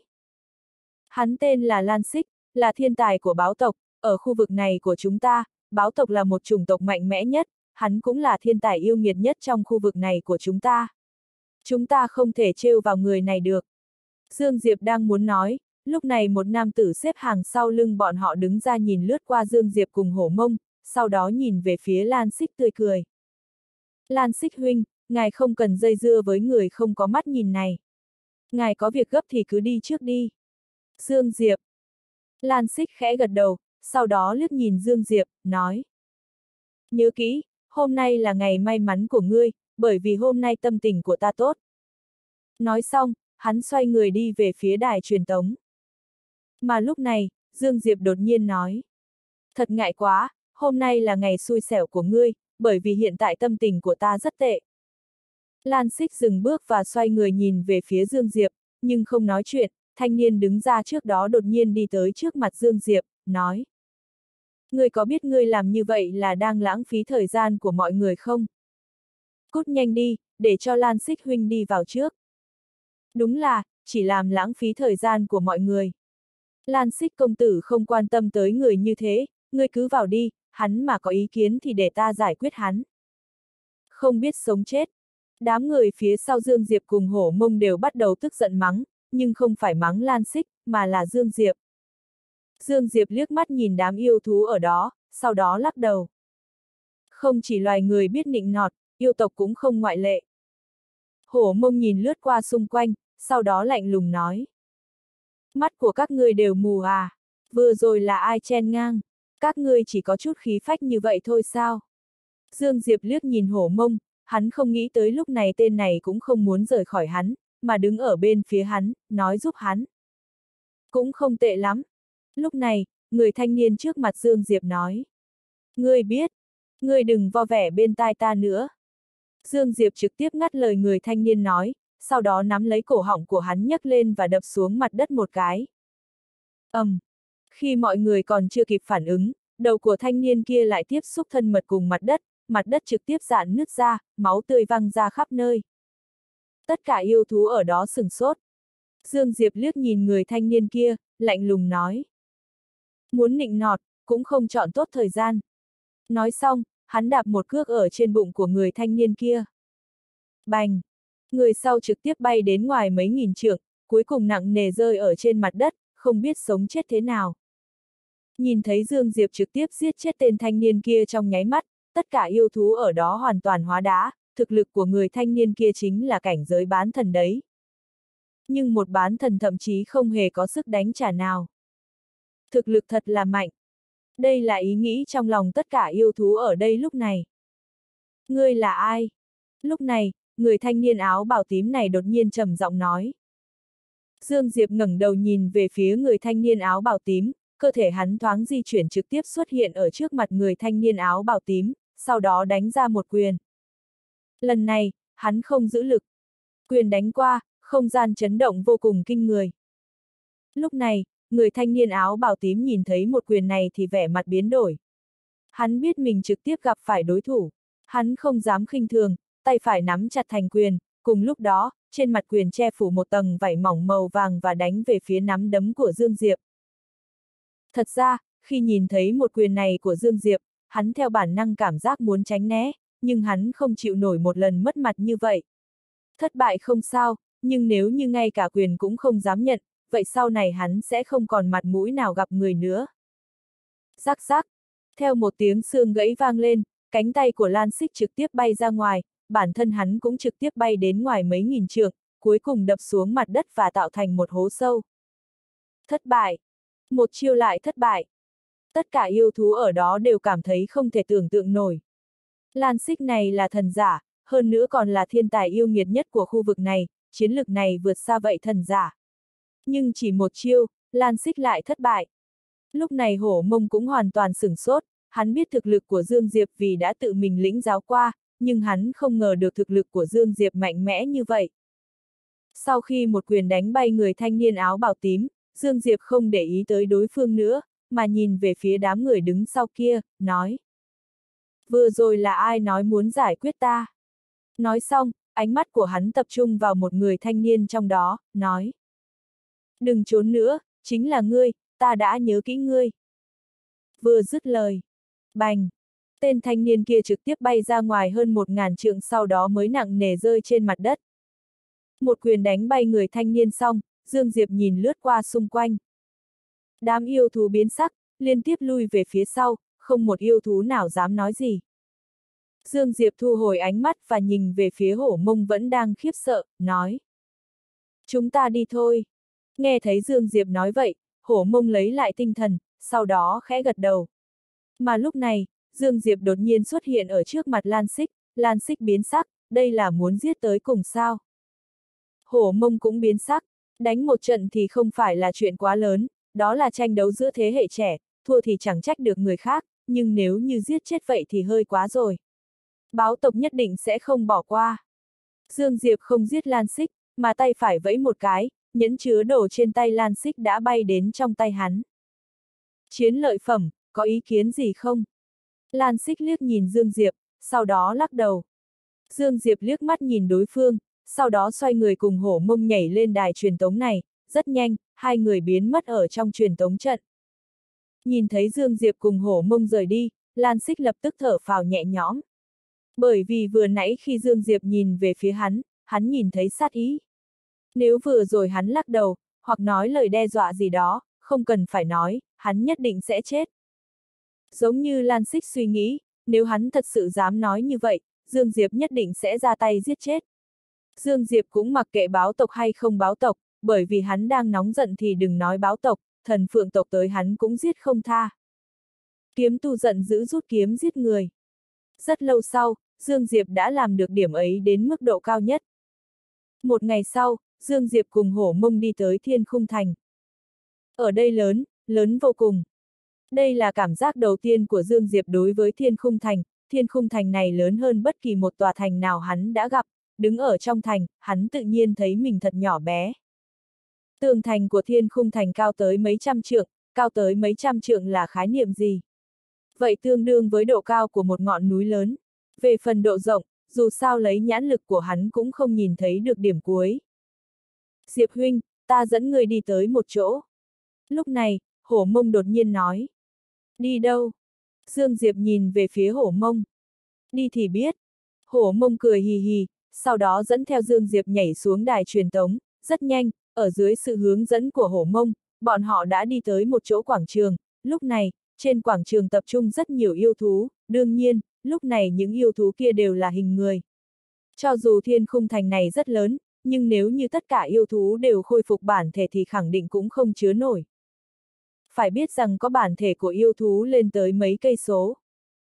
Dương Diệp nhìn về phía xa, ở cách đó không xa có một cây cột đá bảy màu dài gần trăm trượng, cột đá là do bảy loại khoáng thạch màu sắc khác nhau làm ra, đầu cao nhất là màu tím sậm. Mà lúc này, thỉnh thoảng có yêu thú đi tới trước cột đá này phát ra tấn công với cột đá, mỗi khi có yêu thú tấn công cột đá, một phần màu sắc trên cột đá sẽ sáng lên. Cột kiểm tra. Bên cạnh Dương Diệp, Hổ Mông giải thích. Có thể kiểm tra lực lượng của chính mình, nhìn thấy màu tím sậm ở đầu cao nhất này không? Chỉ có cường giả lực lượng luân hồi cảnh mới có thể làm cho nó sáng lên. Dương Diệp liếc nhìn, ở phía dưới màu tím sậm là màu vàng, phía dưới màu vàng là màu đỏ, phía dưới màu đỏ là màu xanh lam. Phần lớn người ở đó đều chỉ có thể khiến một chút màu đỏ này sáng lên. Thử xem. Hổ mông cười nói. Dương Diệp suy nghĩ một lát, sau đó khẽ gật đầu, hắn cũng muốn thử xem lực lượng của mình đạt đến trình độ nào. Rất nhanh, Dương Diệp đi tới trước cột đá này, yêu thú nhìn thấy Dương Diệp đều sửng sốt, lập tức có rất nhiều yêu thú nhìn về phía Dương Diệp với ánh mắt có chút không tốt. Rõ ràng có yêu thú đang nghi ngờ hắn là loài người. Cũng may có hổ mông ở đó nên những yêu thú chỉ nghi ngờ, tuyệt đối không đi lên gây sự. Tuy nhiên cũng có ngoại lệ. Lúc này, một người thanh niên khôi ngô đi tới trước mặt Dương Diệp. Ta thấy hình thể này của ngươi có chút giống loài người. Loài người. Dương Diệp nhìn về phía người thanh niên kia. Ngươi mới là loài người, cả nhà ngươi đều là loài người. Sắc mặt của người thanh niên này biến đổi, lập tức cười lạnh nói. Không phải là loài người à? Tốt lắm, ngươi dám nhận của ta một quyền không? Dương Diệp. Sở dĩ người thanh niên nói như vậy là bởi vì thân thể của loài người còn xa mới bằng được yêu tộc, cho dù trong loài người cũng có rất nhiều loài người là thể tu, cơ thể thật sự không tệ, nhưng số lượng này lại rất ít, bởi vì rất ít người có thể chịu được nỗi đau khổ này. Cho nên, Dương Diệp có phải là loài người hay không, đánh một quyền xuống thì sẽ biết. Thật ra, cũng không trách được người khác nghi ngờ, bởi vì Dương Diệp ở nơi đây thật sự có cảm giác như hạc giữa bầy gà, hắn quá nhỏ, so với những yêu thú ở đây, hắn thật sự không giống như một yêu thú. Nghe được người thanh niên nói vậy, hổ mông liếc mắt nhìn đối phương với vẻ mặt có chút cổ quái. Dương Diệp cũng thoáng ngẩn người ra, hắn không ngờ được đối phương tự nhiên đưa ra yêu cầu này. Suy nghĩ một lát, hắn nói. Vẫn không nên đi. Thế nào? Người thanh niên công khóe miệng đầy vẻ châm chọc. Sợ à? Đồ hèn nhát. Lúc này, rất nhiều yêu thú bên cạnh nhìn về phía Dương Diệp, trong mắt đã đầy vẻ xem thường. Ở yêu tộc, không làm ứng chiến thì sẽ rất mất mặt, nếu như cảnh giới của hai bên chênh lệch quá lớn, vậy còn không nói làm gì, trái lại là người đề nghị khiêu chiến này mất mặt, nhưng thanh niên này chẳng qua là một bán thần, nếu xét về cảnh giới thì người thanh niên cũng không cao hơn. Cho nên nhìn thấy Dương Diệp từ chối, mọi người nhất thời sinh ra sự coi thường. Dương Diệp lắc đầu. Ta là vì muốn tốt cho ngươi thôi, thật đấy. Ta nhìn ngươi chính là loài người. Người thanh niên nhìn thẳng Dương Diệp. Ta không có cách nào ngửi được mùi của ngươi, ngươi nhất định là loài người lẩn vào tìm hiểu bí mật của yêu tộc ta, hoặc có gì đó không thể cho ai biết. Chuẩn bị xong chưa? Dương Diệp đột nhiên ngắt lời người thanh niên nói.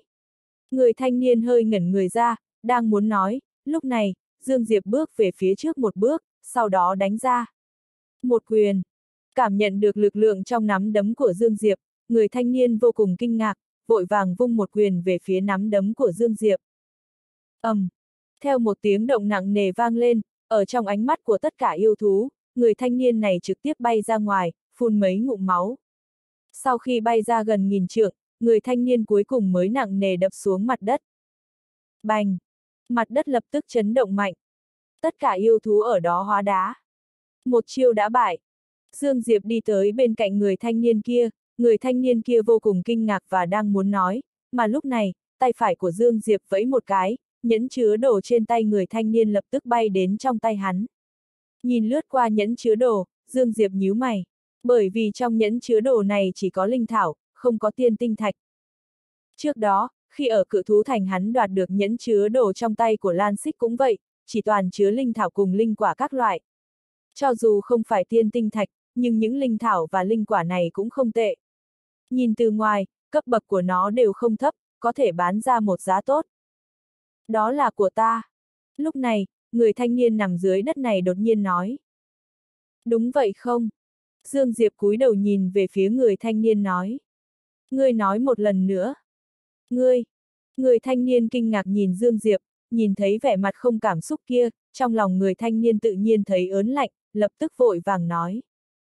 Đó, đó là của ngươi. Dương Diệp nhún vai, sau đó xoay người đi tới trước cột kiểm tra kia. Tất cả mọi người nhìn về phía Dương Diệp, muốn biết lực lượng Dương Diệp đạt đến trình độ nào. Tay phải của Dương Diệp nắm chặt thành quyền, sau đó đánh vào trên cột kiểm tra kia. ầm, um, cột kiểm tra chấn động mạnh, yên lặng trong chớp mắt, phần màu vàng trên đỉnh cột đột nhiên phát ra một ánh sáng màu vàng chói lòa. Ánh sáng màu vàng. Ở đó có yêu thú kinh ngạc kêu lên. Trong mắt yêu thú còn lại đều lộ ra vẻ khiếp sợ, thanh niên trước bị Dương Diệp đánh bay lại lộ vẻ cay đắng. Dương Diệp nhìn về phía hổ mông bên cạnh, hỏi. Như vậy là có ý gì? Hổ mông không nhìn cột kiểm tra nữa, sau đó nói. Điều này đại biểu lực lượng thân thể của ngươi đã đạt đến trình độ cường giả âm dương cảnh. Hắn dừng lại một lát, sau đó lại nói. Không ngờ được dương tộc xuất hiện tên biến thái như ngươi. Dương Diệp nhìn về phía bộ phận màu tím kia.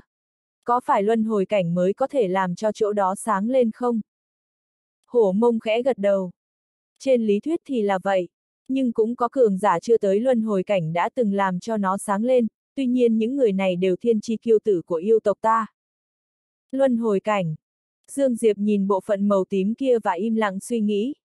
Một quyền kia của hắn đã sử dụng toàn lực, nói cách khác, lực lượng cơ thể hắn bây giờ thật ra chính là cấp bậc âm dương cảnh.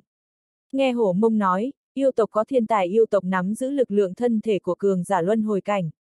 Nói cách khác, ba giải đầu của hội vạn tộc có phần không chắc chắn. Dù sao ở chỗ này, hắn không thể dùng kiếm. Nhưng thật may, hắn vẫn có thể ngũ hành bất diệt cùng quyền ngũ hành phá giáp, đặc biệt là ngũ hành phá giáp quyền, từ trình độ nào đó, ngũ hành này phá giáp quyền chính là khắc tinh của yêu thú. Phá giáp. Một quyền của hắn đánh vào trên thân yêu thú thì có thể đánh ra tổn thương chân thật nhất. Dương Diệp thu hồi mạch suy nghĩ và nhìn về phía hổ mông, nói. Chúng ta đi thôi. Hổ mông khẽ gật đầu, sau đó dẫn theo Dương Diệp xoay người rời đi. Ở dưới sự hướng dẫn của hổ mông, một người một yêu đi tới một phòng tu luyện dưới lòng đất, phòng tu luyện này là do một thế lực yêu thú xây dựng, phòng tu luyện rất lớn, rất nhiều, phải tới mấy vạn phòng, mỗi một phòng tu luyện đều rất lớn, dài rộng gần nghìn trượng, hơn nữa, nếu như cần, còn có thể tìm thế lực xây dựng phòng tu luyện để luyện cùng. Tuy nhiên giá rất cao, không phải tiên tinh thạch mà là linh thảo hoặc linh quả. Ở yêu tộc, tiền thông dụng chính là linh thảo cùng linh quả. Linh thảo cùng linh quả chia ra theo cấp bậc, theo thứ tự là linh cấp, thiên cấp, tiên cấp, thần cấp. Linh thảo mà Dương Diệp nhận được từ trong tay của Lan Xích và người thanh niên vừa rồi thuộc về tiên cấp, khoảng chừng hơn vạn viên. Thật ra, đây tính là một khoản tài phú không nhỏ. Nhưng vẫn không đủ tiêu, bởi vì chọn một gian phòng tu luyện đã mất 1.000 viên linh thảo tiên cấp. Đương nhiên, đây là thời gian đặc biệt, bình thường của chỉ có mấy trăm viên. Sở dĩ đắt như vậy là vì bây giờ có rất nhiều yêu thú chạy tới thiên khung thành. Trong một gian phòng tu luyện, Dương Diệp ngồi xếp bằng dưới đất, đúng lúc này thì hổ mông đi đến, Dương Diệp nhìn về phía hổ mông. Cùng nhau luyện một chút chứ. Hổ mông cười hì hì nói. Dương Diệp suy nghĩ một lát, sau đó nói. Cũng được. Hổ mông cũng không tệ lắm, có thể chỉ điểm một chút cho đối phương. Hổ mông cười nói. Ta ra tay đây.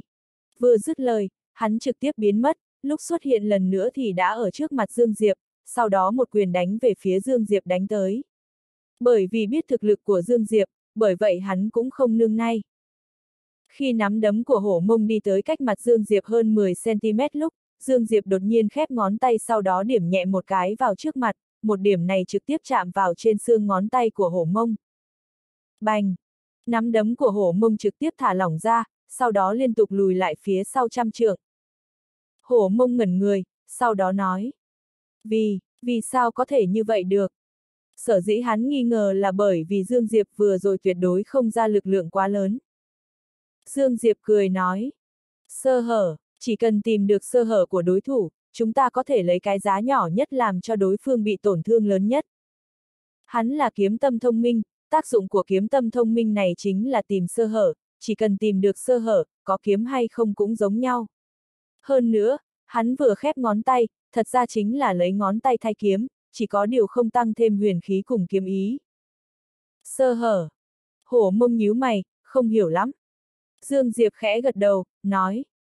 Từng chiêu từng thức đều có sơ hở, giống như vừa rồi vậy, ngươi lộ ra sơ hở của ngươi, nếu như ta cầm một vũ khí sắc bén, không những có thể phá hỏng một chiêu này của ngươi, còn có thể thuận thế lấy mạng của ngươi.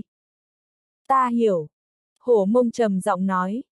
Ngươi nói cái này, Lục yêu thú chúng ta giao đấu cùng nhân tộc, lại thường chịu thua trong tay nhân tộc, cơ thể cùng lực lượng của rất nhiều người bọn họ cho dù thua chúng ta, nhưng ở phương diện linh hoạt, còn có phương diện tìm cơ sở như ngươi nói, chúng ta lại còn xa mới bằng được loài người bọn họ. Loài người. Dương Diệp lắc đầu mỉm cười, thầm nghĩ ở trước mặt ngươi lại là một loài người đấy. Lúc này, hổ mông lại nói. Ta không học được chiêu của loài người này. Nói đến đây, hắn liếc nhìn Dương Diệp. Ngươi làm sao có thể tìm được sơ hở? Sắc mặt Dương Diệp không thay đổi, nói. Học, trước đây chịu thiệt bởi một loài người cho nên, để sau đó không chịu thiệt, ta cố gắng học ưu điểm của bọn họ. Loài người có thể làm cho ngươi chịu thiệt thì chắc là rất mạnh, đối phương tên gì? Là mấy thiên tài siêu cấp của loài người sao? Hổ mông hỏi. Dương Diệp nghiêm mặt nói. Không phải, đối phương tên là Dương Diệp, một người đặc biệt lợi hại, người làm cho ta bội phục sát đất, một. Dương Diệp. Hai mắt hổ mông đột nhiên trợn tròn, kinh ngạc nói. Người gặp được Dương Diệp. Dương Diệp ngẩn người. Người biết Dương Diệp. Hổ mông cười gượng. Yêu tộc chúng ta có ai không quen biết hắn chứ? Dương Diệp nuốt nước bọt. Làm sao các ngươi có thể biết hắn?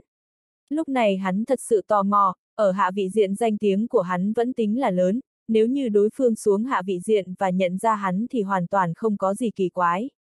Cho dù là thế giới nhân tộc ở đại thế giới cũng không kỳ quái, bởi vì đại thế giới nhân tộc bên kia có người nào không biết hắn từ hạ vị diện xông lên đây. Nhưng đây là yêu tộc, Ni Hổ Mông rõ ràng chỉ là một yêu thú bình thường, nhưng đối phương lại biết hắn. Hổ Mông khẽ gật đầu. Dương Diệp này là một người lợi hại. Dương Diệp khẽ gật đầu, rất nghiêm túc nói. Lợi hại, đặc biệt lợi hại, ta sách giày cho hắn cũng không xứng. Hổ Mông. Hổ Mông liếc nhìn Dương Diệp, sau đó nói. Hắn thật sự lợi hại như vậy. Dương Diệp đặc biệt nghiêm túc khẽ gật đầu. Đặc biệt lợi hại. Hổ mông khẽ gật đầu. Lấy thực lực của ngươi cũng cảm thấy hắn mạnh mẽ như vậy, xem ra Dương Diệp này thật sự rất mạnh rồi. Dương Diệp mỉm cười, sau đó nghiêm mặt nói. Làm sao người biết hắn? Công chúa thần phượng tộc. Hổ mông trầm giọng nói. Nàng nói ai có thể giết Dương Diệp thì có thể đi tới thánh địa tu luyện của thần phượng tộc, L cũng chính là vùng đất thánh cũ này tu luyện, không chỉ có vậy còn có thể tùy ý chọn lấy một loại trong thần hỏa nàng thu thập được.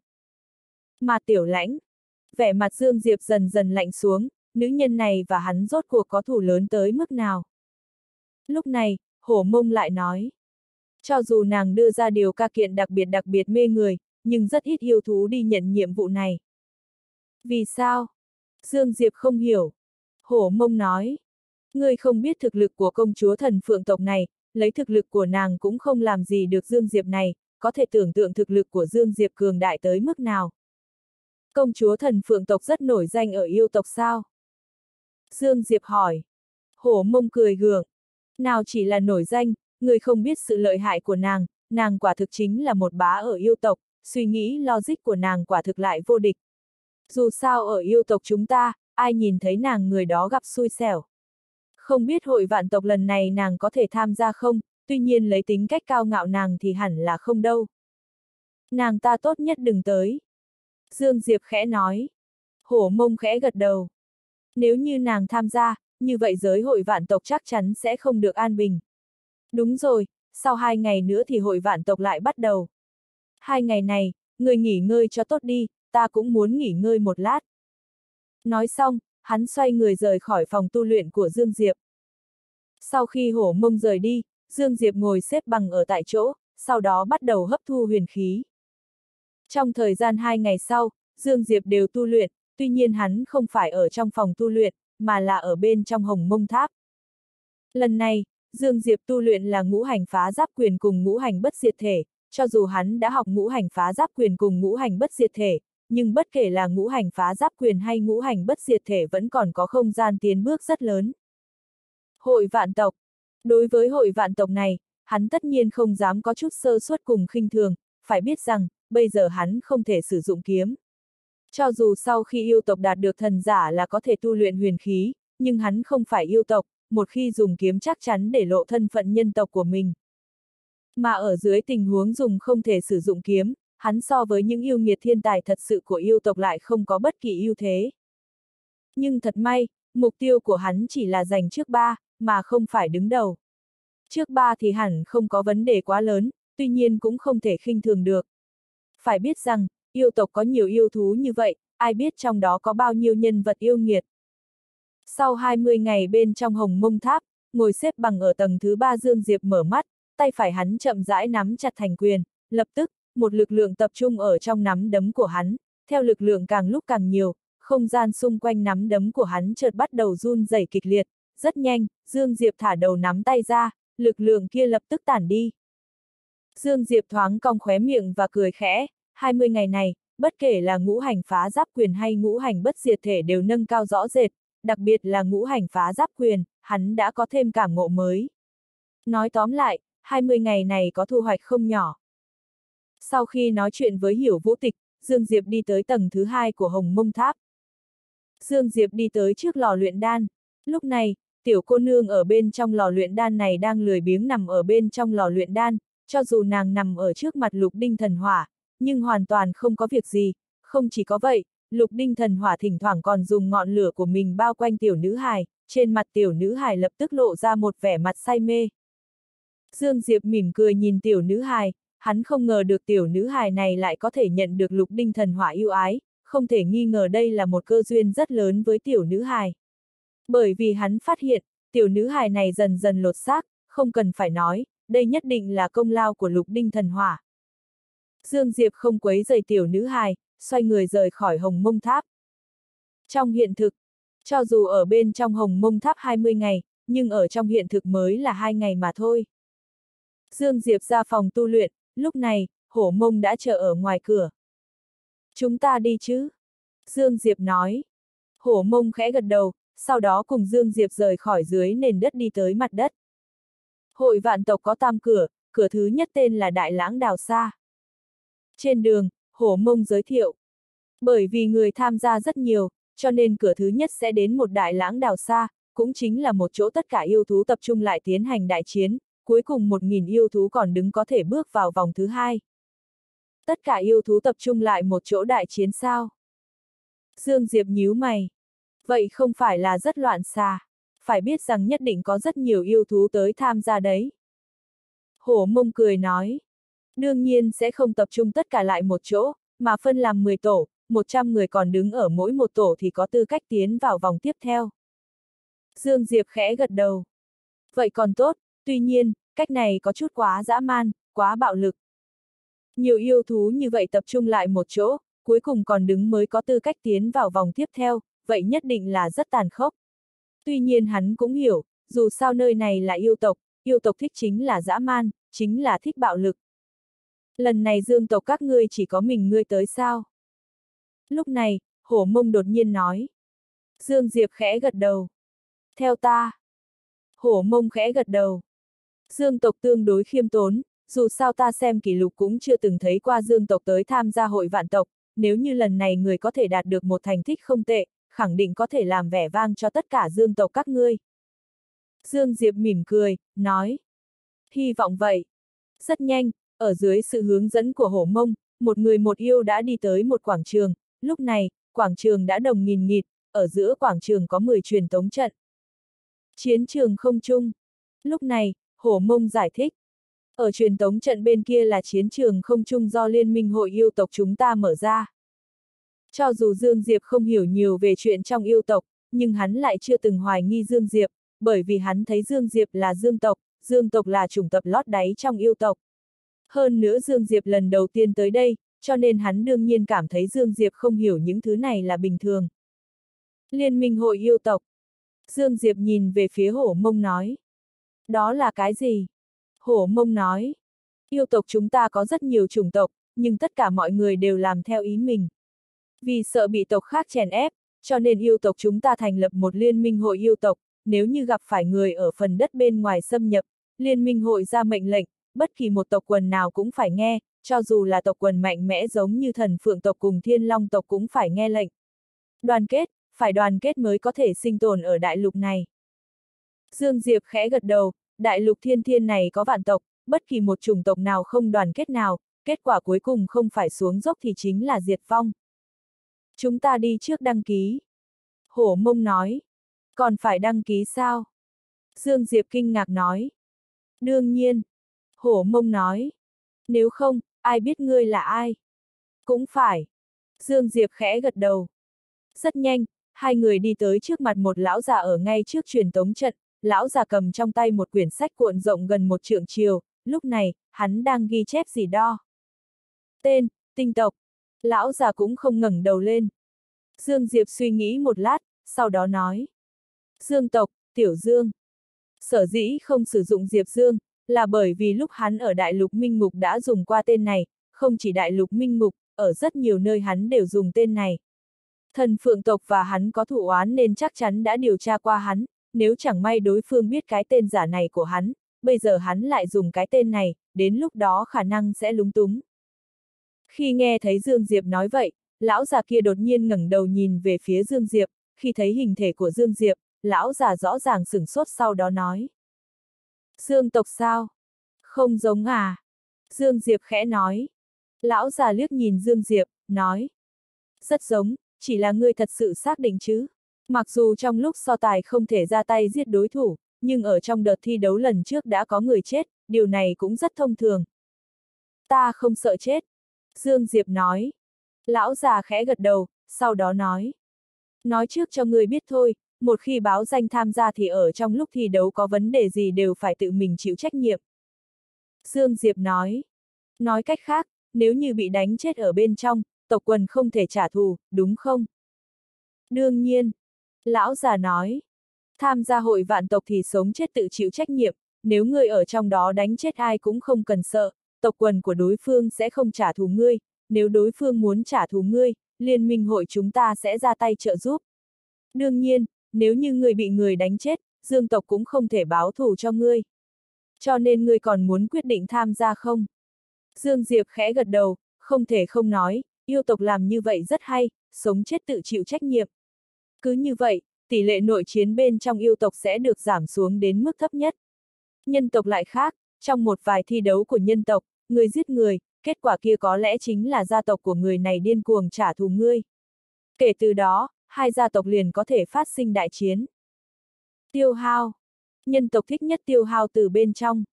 Nhìn thấy Dương Diệp gật đầu, lão già không nói gì nữa, sau đó ghi tên của Dương Diệp xuống, nói. Có thể tiến vào. Dương Diệp khẽ gật đầu, sau đó chờ hổ mông cũng đăng ký xong thì cùng bước vào trong một truyền tống trận số 6. Rất nhanh, Dương Diệp cùng hổ mông xuất hiện ở một mảnh bình nguyên trống trải, mênh mông vô bờ. Chiến trường không chung. Không gian ở đây đều hư cấu. Lúc này, xung quanh đã có rất nhiều yêu thú, điều làm cho Dương Diệp vô cùng kinh ngạc là những yêu thú này đã khôi phục lại bản thể, bao gồm cả hổ mông cũng vậy. Thoáng qua, Dương Diệp suy nghĩ cẩn thận, bởi vì khôi phục bản thể yêu thú mới có thể phát huy ra thực lực thật sự của bọn họ. Mà bây giờ, hắn có chút lúng túng, bởi vì ở đây, hắn là kẻ duy nhất không khôi phục bản thể. Vì vậy, rất nhiều yêu thú xung quanh Dương Diệp đều nhìn về phía Dương Diệp với vẻ mặt cực kỳ không tốt. Rõ ràng, bọn họ lại đang nghi ngờ. Cũng khó trách những yêu thú nghi ngờ, bởi vì điều này quá khác thường. Không chỉ yêu thú khác, chính hổ mông cũng nhìn về phía Dương Diệp, trong mắt kèm theo một chút nghi ngờ. Dương Diệp im lặng trong chớp mắt, đột nhiên, hắn nhìn lướt qua xung quanh, sau đó chợt quát. Nhìn cái gì vậy, đánh các ngươi còn cần phải khôi phục bản thể sao? Điên cuồng, kiêu ngạo, tất cả yêu thú ở đó đều sửng sốt, rõ ràng bọn họ không ngờ được Dương Diệp điên cuồng như thế, kiêu ngạo như thế. Hổ mông cũng sửng sốt, không phải nói muốn khiêm tốn sao. Dương Diệp dĩ nhiên muốn giấu mình, nhưng lúc này không thể giấu mình, lúc này giấu mình nhất định sẽ gặp chuyện không may, bởi vì những yêu thú đều đang nghi ngờ hắn. Thật ra, đừng nói những yêu thú này, chính hắn cũng cảm thấy mình không bình thường. Bởi vì yêu thú ở đây cơ bản đều khôi phục lại bản thể, nhưng hắn vẫn hình người, hơn nữa còn nhỏ như thế, ai không nghi ngờ được. Vì loại bỏ nghi ngờ của những yêu thú, hắn chỉ có thể phách lối một chút. Hắn muốn nói cho những yêu thú, ta không phải là không khôi phục bản thể, mà là các ngươi không đáng để ta khôi phục bản thể. Làm như thế, cho dù có thể cho những yêu thú tạm thời thôi nghi ngờ đối với hắn, nhưng lại đắc tội với người. Bởi vậy, sau khi nghe thấy Dương Diệp nói thế, ngon nại trừ hổ mông ra, yêu thú còn lại đều nhìn về phía Dương Diệp với ánh mắt rất không tốt. Ta biết ngươi, ngươi là Dương tộc. Lúc này, một con sói đen toàn thân tối tăm đột nhiên đi tới trước mặt Dương Diệp, hắn nhìn xuống Dương Diệp. Ta không rõ Dương tộc lớn lối như vậy từ lúc nào. Nhìn thấy con sói đen này, vẻ mặt rất nhiều yêu thú ở đó trở nên nghiền ngẫm. Lang tộc có thể nói là khắc tinh của Dương tộc, thật ra rất nhiều tộc đều khắc tinh Dương tộc, bởi vì hình thể, thực lực của Dương tộc vẫn luôn rất yếu, ở trong yêu tộc hoàn toàn là thuộc về tồn tại tầng dưới cùng này. Nếu như không phải bởi vì yêu tộc quy định không thể tàn sát tộc khác, Dương tộc cũng sớm biến mất. Dương Diệp đang muốn nói, lúc này chợt có một giọng nói đột nhiên vang lên ở trong không trung. Còn chưa bắt đầu, nếu ai ra tay sẽ mất đi tư cách tranh tài. Nghe được tiếng này, trong mắt rất nhiều yêu thú ở đó lóe lên một tia thất vọng. Lúc này, con sói đen kia lại nói. Nhớ kỹ, đợi lát nữa ta sẽ ăn sống ngươi. Nói xong, nó xoay người đi tới một bên, nhưng khí tức hắn lại vẫn khóa chặt Dương Diệp. Lúc này, hổ mông đột nhiên nói. Không phải nói muốn khiêm tốn sao? Dương Diệp mỉm cười không nói gì, hắn đương nhiên cũng muốn giấu mình, nhưng lúc này không thể giấu mình. Lại giống như bây giờ, những yêu thú xung quanh nhìn về phía hắn đã không có nghi ngờ, đương nhiên cũng không thân mật, không thể nghi ngờ câu nói của hắn vừa rồi đã đắc tội rất nhiều yêu thú ở đây. Cho dù hắn có thể long biến, nhưng nếu như hắn nói mình là thiên long tộc thì lập tức sẽ trở thành tiêu điểm chú ý, hơn nữa, thiên long tộc chắc chắn sẽ tới tìm hắn thì khi đó lại là họa lớn. Hổ mông do dự một lúc, sau đó nói. Ta không biết ngươi có dụng ý gì, nhưng ngươi vừa làm như vậy thật sự có chút không sáng suốt, bởi vì ngươi làm như vậy sẽ làm ở đó những yêu thú nhằm vào ngươi. Ở chỗ này, bị nhằm vào thì hậu quả. Dương Diệp cười nói. Không sao. Hổ mông liếc nhìn Dương Diệp sau đó khẽ gật đầu, không nói gì nữa. Cho dù hắn cùng Dương Diệp mới thời gian không lâu nhưng vẫn hiểu một chút, Dương Diệp đặc biệt tự tin, hơn nữa Dương Diệp cũng không phải là một người ngu, vừa rồi Dương Diệp làm như vậy thì nhất định phải có dụng ý. Tuy nhiên, hắn vẫn có chút lo lắng, cảm giác bị bao vây tấn công chắc chắn không dễ chịu đâu. Dương Diệp nhìn về phía hổ mông, hỏi. Yêu tộc chúng ta có thiên tài lợi hại nào đặc biệt không? Đương nhiên. Hổ mông khẽ gật đầu. Nổi danh nhất dĩ nhiên là công chúa thần phượng tộc này, tuy nhiên nàng không phải người có thực lực mạnh nhất. Thực lực mạnh nhất có ba người. Ba người nào? Dương Diệp lại hỏi. Thiên Long tộc có Long Thái tử cổ ứng Long, Ma Viên tộc có Nguyên Nghiệt, còn có huyễn Hồ tộc có huyễn Minh Huyên. Ba người này là ba người mạnh nhất trong thế hệ trẻ của yêu tộc chúng ta. Đương nhiên còn có công chúa thần phượng tộc mà tiểu lãnh. Tuy nhiên, ngoại trừ bốn người này ra chắc chắn vẫn có rất nhiều yêu nghiệt siêu cấp, dù sao rất nhiều thiên tài yêu nghiệt tương đối khiêm tốn. Hổ mông nói. Dương Diệp khẽ gật đầu, đúng vậy, rất nhiều thiên tài yêu nghiệt đều tương đối khiêm tốn, có lúc không lộ bản lĩnh mới là đáng sợ nhất. Lúc này, hổ mông lại nói. Chỉ có điều lần này đám người cổ ứng long bọn họ đều sẽ không tham gia. Vì sao? Dương Diệp không hiểu. Hổ mông cười gượng. Bởi vì bọn họ đã trực tiếp lên cấp. Nói cách khác, ba thứ hạng đầu của đợt thi đấu lần này sẽ cùng bọn họ đại biểu yêu tộc đi so tài. Thật ra, ba người lần này chỉ đi theo lấy kinh nghiệm, gặp yêu nghiệt cùng thiên tài bên ngoài. Thật sự so tài là bốn người bọn họ. Dương Diệp ngẩn người, sau đó nói. Vậy có phải không công bằng hay không? Chính vì công bằng mới làm như thế. Hổ mông nói. Bởi vì nếu như bọn họ tới tham gia sẽ là không công bằng đối với chúng ta, bởi vì bọn họ đã không ở cùng một cấp với chúng ta nữa. Thì ra là thế. Dương Diệp khẽ gật đầu, đúng vậy, mấy người hổ mông nói đều là thuộc về yêu nghiệt siêu cấp, cũng giống như hắn, nếu như hắn có thể dùng kiếm, vậy sẽ bất công đối với những yêu thú như hổ mông. Tuy nhiên, bây giờ hắn không thể dùng kiếm, cho nên không phải là không công bằng đối với đám người hổ mông, mà là không công bằng đối với hắn. Đúng lúc này, ở mảnh đất trống ngoài trăm trượng này đột nhiên bắt đầu chấn động, ngay sau đó, từng cột đá rất lớn tự dưới nền đất nhô ra, cột đá rất nhanh đã dài đến trăm trượng sừng sững ở trên mảnh đất trống này. Đây là... Dương Diệp không hiểu. Hổ mông nói. một trăm cây cột đá, trên mỗi một cột đá chỉ có thể có một người đứng, đến sau khi kết thúc mà vẫn đứng ở phía trên thì có thể bước vào vòng tiếp theo. Cho nên đợi lát nữa sẽ có một hồi chiến đấu kịch liệt. Dương Diệp nhìn lướt qua ở đó, lúc này ở đây có ít nhất mấy vạn yêu thú, không chỉ vậy, còn có rất nhiều yêu thú vẫn lục tục bước vào. Mấy vạn yêu thú tranh 100 cột đá, đó là chuyện kịch liệt tới mức nào. Nhưng người cuối cùng có thể đứng ở trên cột đá chắc chắn không yếu, cách đại lãng đào xa này quả thật có thể đào thải những hát cát. Qua một canh giờ sau đã không có yêu thú nào bước vào chiến trường không chung nữa, lúc này, không khí ở đây đã trở nên khẩn trương. Qua khoảng một khắc đồng hồ, một giọng nói đột nhiên vang lên ở trong không trung. Bắt đầu. Vừa dứt lời, rất nhiều yêu thú lập tức đồng thời kêu gào, mấy vạn yêu thú đồng thời gào thét, cục diện có chút đáng sợ. Nhưng không yêu thú nào xông về phía những cột đá này. Lúc này, ai xông tới trước nhất định sẽ bị vô số yêu thú nhằm vào. Thương đánh chim đầu đàn. Tuy nhiên tình trạng này tuyệt đối không tiếp tục được bao lâu, rất nhanh đã có một con yêu thú thoáng di chuyển, trực tiếp xuất hiện ở trên một cột đá trong đó. Nhưng trong phút chốc, rất nhiều yêu thú trực tiếp lao về phía nó. Trong nháy mắt, tên yêu thú kia lại bị hấp hối. Mà lúc này, các yêu thú đã bắt đầu có ngồi hay không, tất cả đều phóng về phía những cột đá này. Dương Diệp nhìn một màn kế tiếp, có chút trợn mắt há hốc mồm. Rất nhiều yêu thú phóng về phía những cột đá này, nhưng không có một yêu thú nào đứng ở phía trên qua hai hơi thở, cơ bản mới vừa lên đã lập tức bị phía sau đánh rơi xuống. Nếu đánh không rơi xuống thì sẽ có hai người liên thủ, hai người không được thì sẽ có một đám liên thủ. Loạn, kịch liệt. Cục diện bây giờ là đặc biệt loạn, đặc biệt kịch liệt. Lúc này, Dương Diệp nhìn về phía hổ mông bên cạnh. Chúng ta có nên ra tay không? Hổ mông lắc đầu. Đây chỉ là mở màn thôi. Chúng ta cứ đợi chờ, dù sao phải qua một canh giờ mới kết thúc, không vội. Dương Diệp khẽ gật đầu. Ở đó, một lát sau ầm, um, Đột nhiên, một khí tức khủng khiếp đột nhiên cuốn ra xa, rất nhiều yêu thú xung quanh trực tiếp bị chấn động đến liên tiếp lui về phía sau. Ra tay thật sự lợi hại. Bên cạnh Dương Diệp, hổ mông trầm giọng nói. Dương Diệp ngẩng đầu nhìn lên, cách đó không xa có một con yêu thú hình dạng giống như sư tử, toàn thân tản ra ánh sáng màu vàng tung người nhảy lên, trực tiếp rơi vào trên cột đá cao nhất trong trung gian.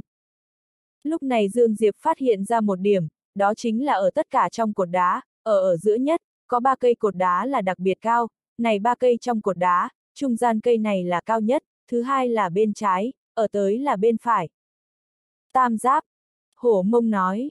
Nếu như kiên chỉ đứng ở phía trên đến cuối cùng, sau khi ra ngoài, tên của ngươi sẽ lập tức truyền khắp thiên khung thành. Tuy nhiên muốn đứng ở phía trên cũng không quá dễ dàng, bởi vì những người trong này thật sự có thực lực đều sẽ lựa chọn ba cây cột đá này. Nói xong, hắn nhìn về phía Dương Diệp nói. người có muốn thử một chút không? Dương Diệp liền vội vàng lắc đầu. Ta chỉ cần mọt cột đá là được. Đối với hắn mà nói, chỉ cần có thể thăng cấp là được. Hổ mông nói. Thật ra lấy thực lực của ngươi thì vẫn còn có cơ hội. Dương Diệp mỉm cười không nói gì, quay đầu lại nhìn về phía xa, phía xa vẫn kịch liệt một cách khác thường, theo hắn suy đoán, loại cục diện này sẽ vẫn tiếp tục đến khi kết thúc. Một lát sau, hổ mông nói. Ta ra tay trước. Vừa dứt lời, cơ thể hắn thoáng động, bắn nhanh như tia chớp về phía xa. Dương Diệp mỉm cười, người này đúng là không nhịn được nữa rồi. Sau khi nhìn một lúc, bởi vì thời gian cũng không nhiều Dương Diệp đã quyết định ra tay. Mà lúc này, con sói đen lúc trước đột nhiên xuất hiện ở trước mặt Dương Diệp. Dương Diệp hơi ngẩn người ra. Ngươi làm gì? Ngươi đoán đi. Sói đen lè lưỡi liếm liếm khóe miệng của mình, trong mắt có ánh sáng hung ác. Ta đoán ngươi tìm đường chết. Dương Diệp vừa dứt lời, trực tiếp một quyền đánh ra, con sói đen còn chưa kịp phản ứng đã trực tiếp bay ra ngoài hơn nghìn trượng. Sau khi một quyền đánh bay sói đen, Dương Diệp nhìn lướt qua phía xa, đột nhiên ánh mắt hắn chợt sáng lên, bởi vì trên một cột đá trong đó, một con yêu thú vừa bị đánh xuống, bởi vậy cây cột đá này còn trống. Dương Diệp nhanh tay nhanh mắt, trực tiếp xuất hiện ở trên cột đá này. Nhìn thấy Dương Diệp xuất hiện, một vài yêu thú phía dưới lập tức sửng sốt, hiển nhiên bọn họ không ngờ được tốc độ của Dương Diệp nhanh như thế. Rất nhanh, đám yêu thú lấy lại tinh thần, trực tiếp xông về phía Dương Diệp, không chỉ có vậy, yêu thú vốn đang tấn công những cột đá xung quanh nhìn thấy Dương Diệp, cũng ảo ảo lao về phía bên này. Vì sao? Bởi vì thoạt nhìn Dương Diệp bên này dễ đánh hơn, bởi vì hình thể của Dương Diệp quá nhỏ, vừa nhìn đã biết đặc biệt dễ bắt nạt. Dương Diệp vốn đã chuẩn bị tâm lý, nhưng hắn không ngờ được những yêu thú xung quanh cũng bao vây về phía hắn, những yêu thú tập trung vào một chỗ, tối thiểu lên tới mấy ngàn. Nhìn những yêu thú vào tới, Dương Diệp do dự một lúc, sau đó từ trên cột đá nhảy xuống, nói. Ta từ bỏ, các ngươi lấy đi. Kẻ hèn nhát. Lúc này, trên một cột đá ở bên cạnh, một con trâu rất lớn màu đen đột nhiên nhìn về phía Dương Diệp, ở trong mắt nó đầy châm chọc cùng xem thường. Nghe vậy, ban đầu Dương Diệp vốn chuẩn bị tạm thời rút lui đột nhiên dừng bước, sau đó nhìn về phía con trâu lớn màu đen kia. Thấy Dương Diệp nhìn qua, con trâu lớn màu đen kia trừng mắt với Dương Diệp. Kẻ hèn nhát, muốn chết sao? Dương Diệp im lặng, hắn đột nhiên phát hiện mình phạm phải một chuyện tối kỵ. Đó chính là đây là yêu tộc, là không thể giấu mình. Ở đây, người càng khiêm tốn thì càng dễ dàng có chuyện. Ở đây coi trọng thực lực, phải phách lối. Nghĩ đến đây, Dương Diệp hoạt động cổ, trong phút chốc, Dương Diệp trực tiếp xuất hiện ở trước mặt con trâu lớn màu đen kia, sau đó một quyền đánh ra. Nhìn thấy Dương Diệp cũng dám ra tay, trong mắt của con trâu lớn màu đen kia lóe lên một tia lệ khí, sau đó tung người nhảy lên, trực tiếp hút về phía Dương Diệp. Àm! Đầu nắm tay của Dương Diệp vừa mới tiếp xúc cùng con trâu lớn màu đen kia, con trâu lớn màu đen kia lại trực tiếp bay ngược ra ngoài. Những yêu thú trực tiếp sửng sốt với cách Dương Diệp cùng trâu lớn màu đen so tài, rõ ràng bọn họ không ngờ được Dương Diệp mạnh mẽ như vậy, phải biết rằng con trâu lớn màu đen kia vừa rồi vẫn chiếm lấy cây cột đá này, có thể thấy được thực lực hắn cường hãn bao nhiêu. Nhưng trâu lớn màu đen này lại trực tiếp bị một quyền đánh bay. Nhưng Dương Diệp không ngừng tay, cơ thể hắn thoáng động, trực tiếp xuất hiện ở phía sau con trâu lớn màu đen kia, sau đó hai tay nắm đuôi của con trâu lớn màu đen kia và tiếp tục ném đi. Ở trong ánh mắt của yêu thú xung quanh, Dương Diệp cầm lấy đuôi con trâu đen đập mạnh xuống đất. ầm, um, một tiếng nổ lớn rung trời ầm ầm vang vọng, mặt đất trực tiếp biến thành một hố lớn. Nhưng trong phút chốc, Dương Diệp lại phóng lên cao, ở trong tay hắn còn đang nắm đuôi của con trâu lớn này, khi hắn bay cách mặt đất khoảng chừng trăm trượng, hắn thả đuôi của con trâu đen ra, sau đó chân phải chợt dẫm mạnh lên lưng con trâu đen. Bành! Con trâu đen lập tức bị đập xuống nền đất, tất cả nền đất chấn động mạnh, dường như phát sinh động đất vậy. Dương Diệp không để ý tới con trâu lớn đã bị đánh tới hấp hối nữa, mà là cơ thể thoáng lắc, rơi vào trên cây cột đá này, tiếp theo, hắn nhìn lướt qua những yêu thú xung quanh. Cây cột đá này là của ta, ai tới thì ta đánh chết kẻ đó.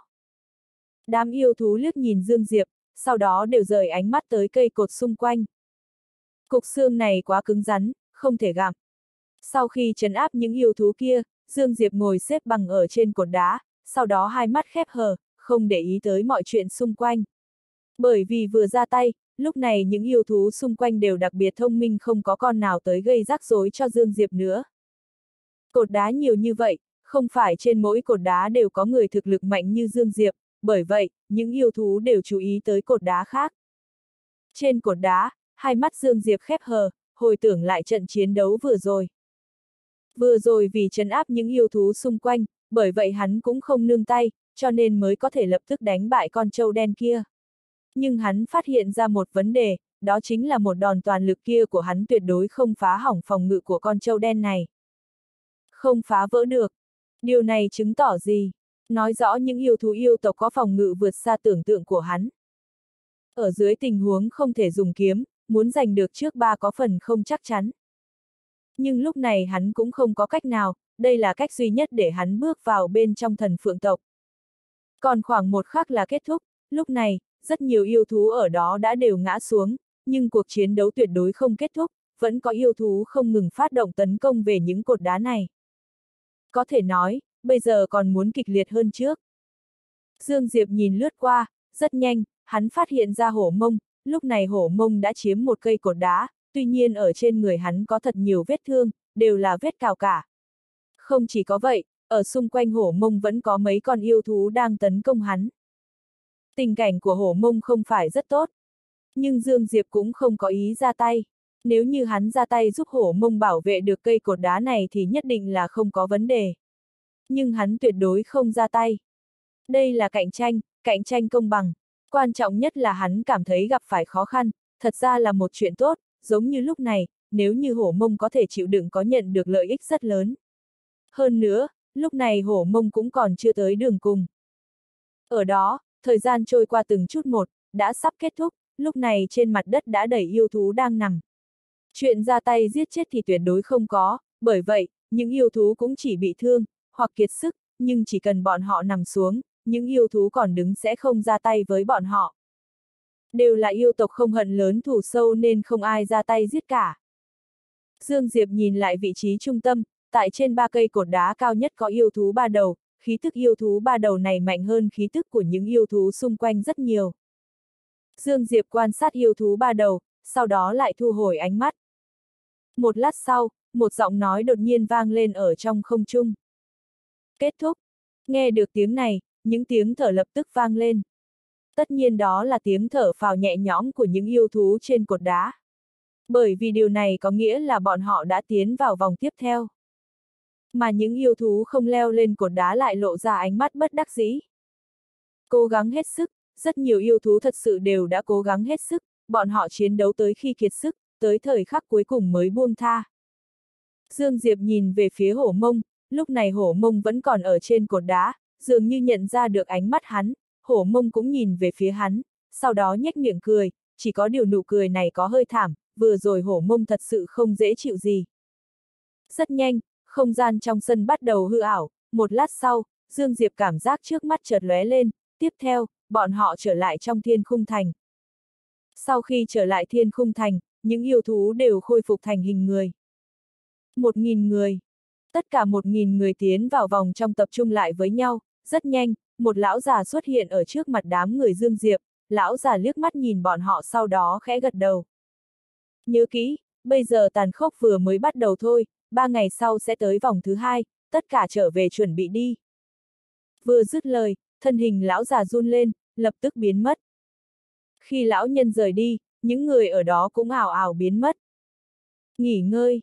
Bây giờ đối với mọi người, quan trọng nhất chính là nghỉ ngơi, bởi vì vừa rồi trong chiến trường không chung, gần như mỗi một yêu thú đều đã ở trong tình trạng kiệt sức, ba ngày sau chính là vòng thứ hai, nếu như bây giờ không khôi phục tốt trạng thái của mình, ba ngày sau nhất định là không có cách nào chống đỡ tiếp. Dương Diệp cùng hổ mông cũng trở về phòng tu luyện của mình, hổ mông vừa về tới phòng tu luyện lại là trực tiếp nhốt mình lại, hắn bị thương không nhẹ, nhất định phải tận dụng thời gian mới được. Dương Diệp trở lại phòng tu luyện và đang muốn tu luyện, lúc này, cửa phòng tu luyện của hắn đột nhiên lóe ra ánh sáng màu xanh lam. Đây là có người muốn vào. Dương Diệp nhíu mày, là ai? Hắn vung tay phải lên, cấm chế trên cửa phòng tu luyện được hắn giải trừ, tiếp theo, hai nam tử khôi ngô xuất hiện ở bên trong phòng tu luyện. Dương Diệp liếc mắt quan sát đối phương, nói. Là các ngươi. Hắn tự nhiên nhận ra hai nam tử khôi ngô này, đó chính là người đứng thứ nhất và thứ hai trong chiến trường không chung vừa rồi. Một nam tử trong đó mặc áo bào màu vàng trên người, dáng vẻ khôi ngô đi tới trước mặt Dương Diệp nói. Ta là man sư đến từ sự tộc, vị bên cạnh này tên cuồng cảnh đến từ thần tượng tộc. Lần này bọn ta tới đây là muốn tìm người hợp tác. Hợp tác? Dương Diệp không hiểu. Man sư khẽ gật đầu. Cuộc so tài ba ngày sau là 1.000 giữ lại 30, nói cách khác, đến lúc đó sẽ đào thải 9.970 người. Rất kịch, liệt, đặc biệt kịch liệt. Đến lúc đó, mỗi một tổ đều có người sẽ tập hợp thành đội, bởi vì chỉ có liên thủ mới có khả năng bước vào vòng tiếp theo. Liên thủ. Dương Diệp nhíu mày. Phía trên không quan tâm à? Man sư lắc đầu. Đây chính là mục đích của phía trên, đoàn kết, vòng thứ nhất muốn nói ra chúng ta biết tầm quan trọng của thực lực cá nhân, vòng thứ hai này lại muốn chúng ta hiểu rõ tầm quan trọng của đoàn kết. Nếu như ta không đoán sai, ba ngày sau, ba người đứng đầu của tổ khác đều sẽ liên thủ, ngoại trừ ba người đứng đầu, những người còn lại trong mỗi một tổ sẽ liên thủ. Dương Diệp im lặng trong chớp mắt, sau đó nói. Vì sao các ngươi lại tới tìm ta? Man sư cùng cuồng cảnh liếc mắt nhìn nhau, cuối cùng man sư nói. Ở trong chiến trường không chung, ta đã nhìn thấy ngươi ra tay. Thì ra là thế. Dương Diệp khẽ gật đầu, sau đó nói. Ta muốn dẫn theo một người. Hổ mông của hổ tộc sao? Man sư hỏi. Dương Diệp khẽ gật đầu. Man sư lắc đầu. Thực lực của hắn không đủ, nhất định bị đào thải. Dương Diệp đang muốn nói, lúc này, Man sư lại nói. Ta biết ý của ngươi, nhưng điều này cũng không phải là một chuyện xấu đối với hắn. Vì sao? Dương Diệp không hiểu. Man sư trầm giọng nói. Trên lý thuyết, mỗi một tổ có ba người có thể bước vào vòng tiếp theo, nhưng trước đây từng phát sinh qua, rất nhiều tổ cũng không người nào tiến vào. Vì sao? Bởi vì tổ này bị tổ khác diệt. người biết không, đến cuối cùng lúc tranh đoạt danh ngạch rất tàn khốc, đặc biệt tàn khốc, thực lực không đủ mà còn cố đi tranh thì sẽ chết, thật sự sẽ chết đấy, bởi vậy so với trước, mỗi tổ có 100 tên, bây giờ, chỉ có 30 danh ngạch. Im lặng một lát, Dương Diệp lắc đầu, nói. Ta vẫn quyết định dẫn hắn theo. Hắn hiểu rõ hổ mông, biết hổ mông muốn tiến vào vòng thứ ba, hổ mông chưa từng nghĩ được vị trí trước ba, mục tiêu của hắn chỉ là bước vào vòng thứ ba. Chỉ cần hắn bước vào vòng thứ ba, hắn đã xem như làm cho tộc quần của mình vẻ vang rồi. Nếu mục tiêu của hổ mông chỉ là tầng thứ ba, hắn không ngại giúp một lần, dù sao vòng thứ hai chú ý là hợp tác. Man sư cùng cuồng cảnh liếc mắt nhìn nhau, lúc này Dương Diệp nói. Các ngươi ai đỡ ta một quyền? Man sư cùng cuồng cảnh liếc nhìn Dương Diệp, cuối cùng man sư nói. Ta tới. Dương Diệp khẽ gật đầu, sau đó đánh ra một quyền. Man sư cũng một quyền đón đỡ. Bành! Theo một tiếng nổ lớn vang lên, man sư trực tiếp bị chấn động, đẩy đến ngoài 20 trượng, nhưng Dương Diệp không hề nhúc nhích. Man sư cùng cuồng cảnh liếc mắt nhìn nhau, trong mắt đầy kinh ngạc. Dương Diệp nói, có ta ở đây, bằng hữu của ta sẽ không liên lụy. Im lặng rất lâu, man sư khẽ gật đầu, nói. Được, ba ngày sau gặp. Nói xong, hai người rời khỏi phòng. Sau khi man sư cùng cuồng cảnh rời đi, Dương Diệp bước vào trong hồng mông tháp. Tu luyện. Dương Diệp sẽ không bỏ qua bất kỳ một cơ hội tu luyện nào, hơn nữa, ngay vừa rồi phát hiện những yêu thú có phòng ngự còn mạnh hơn so với hắn tưởng tượng, hắn càng phát giác mình nhất định phải mau chóng nâng cao thực lực chính mình. Đặc biệt là ngũ hành phá giáp quyền.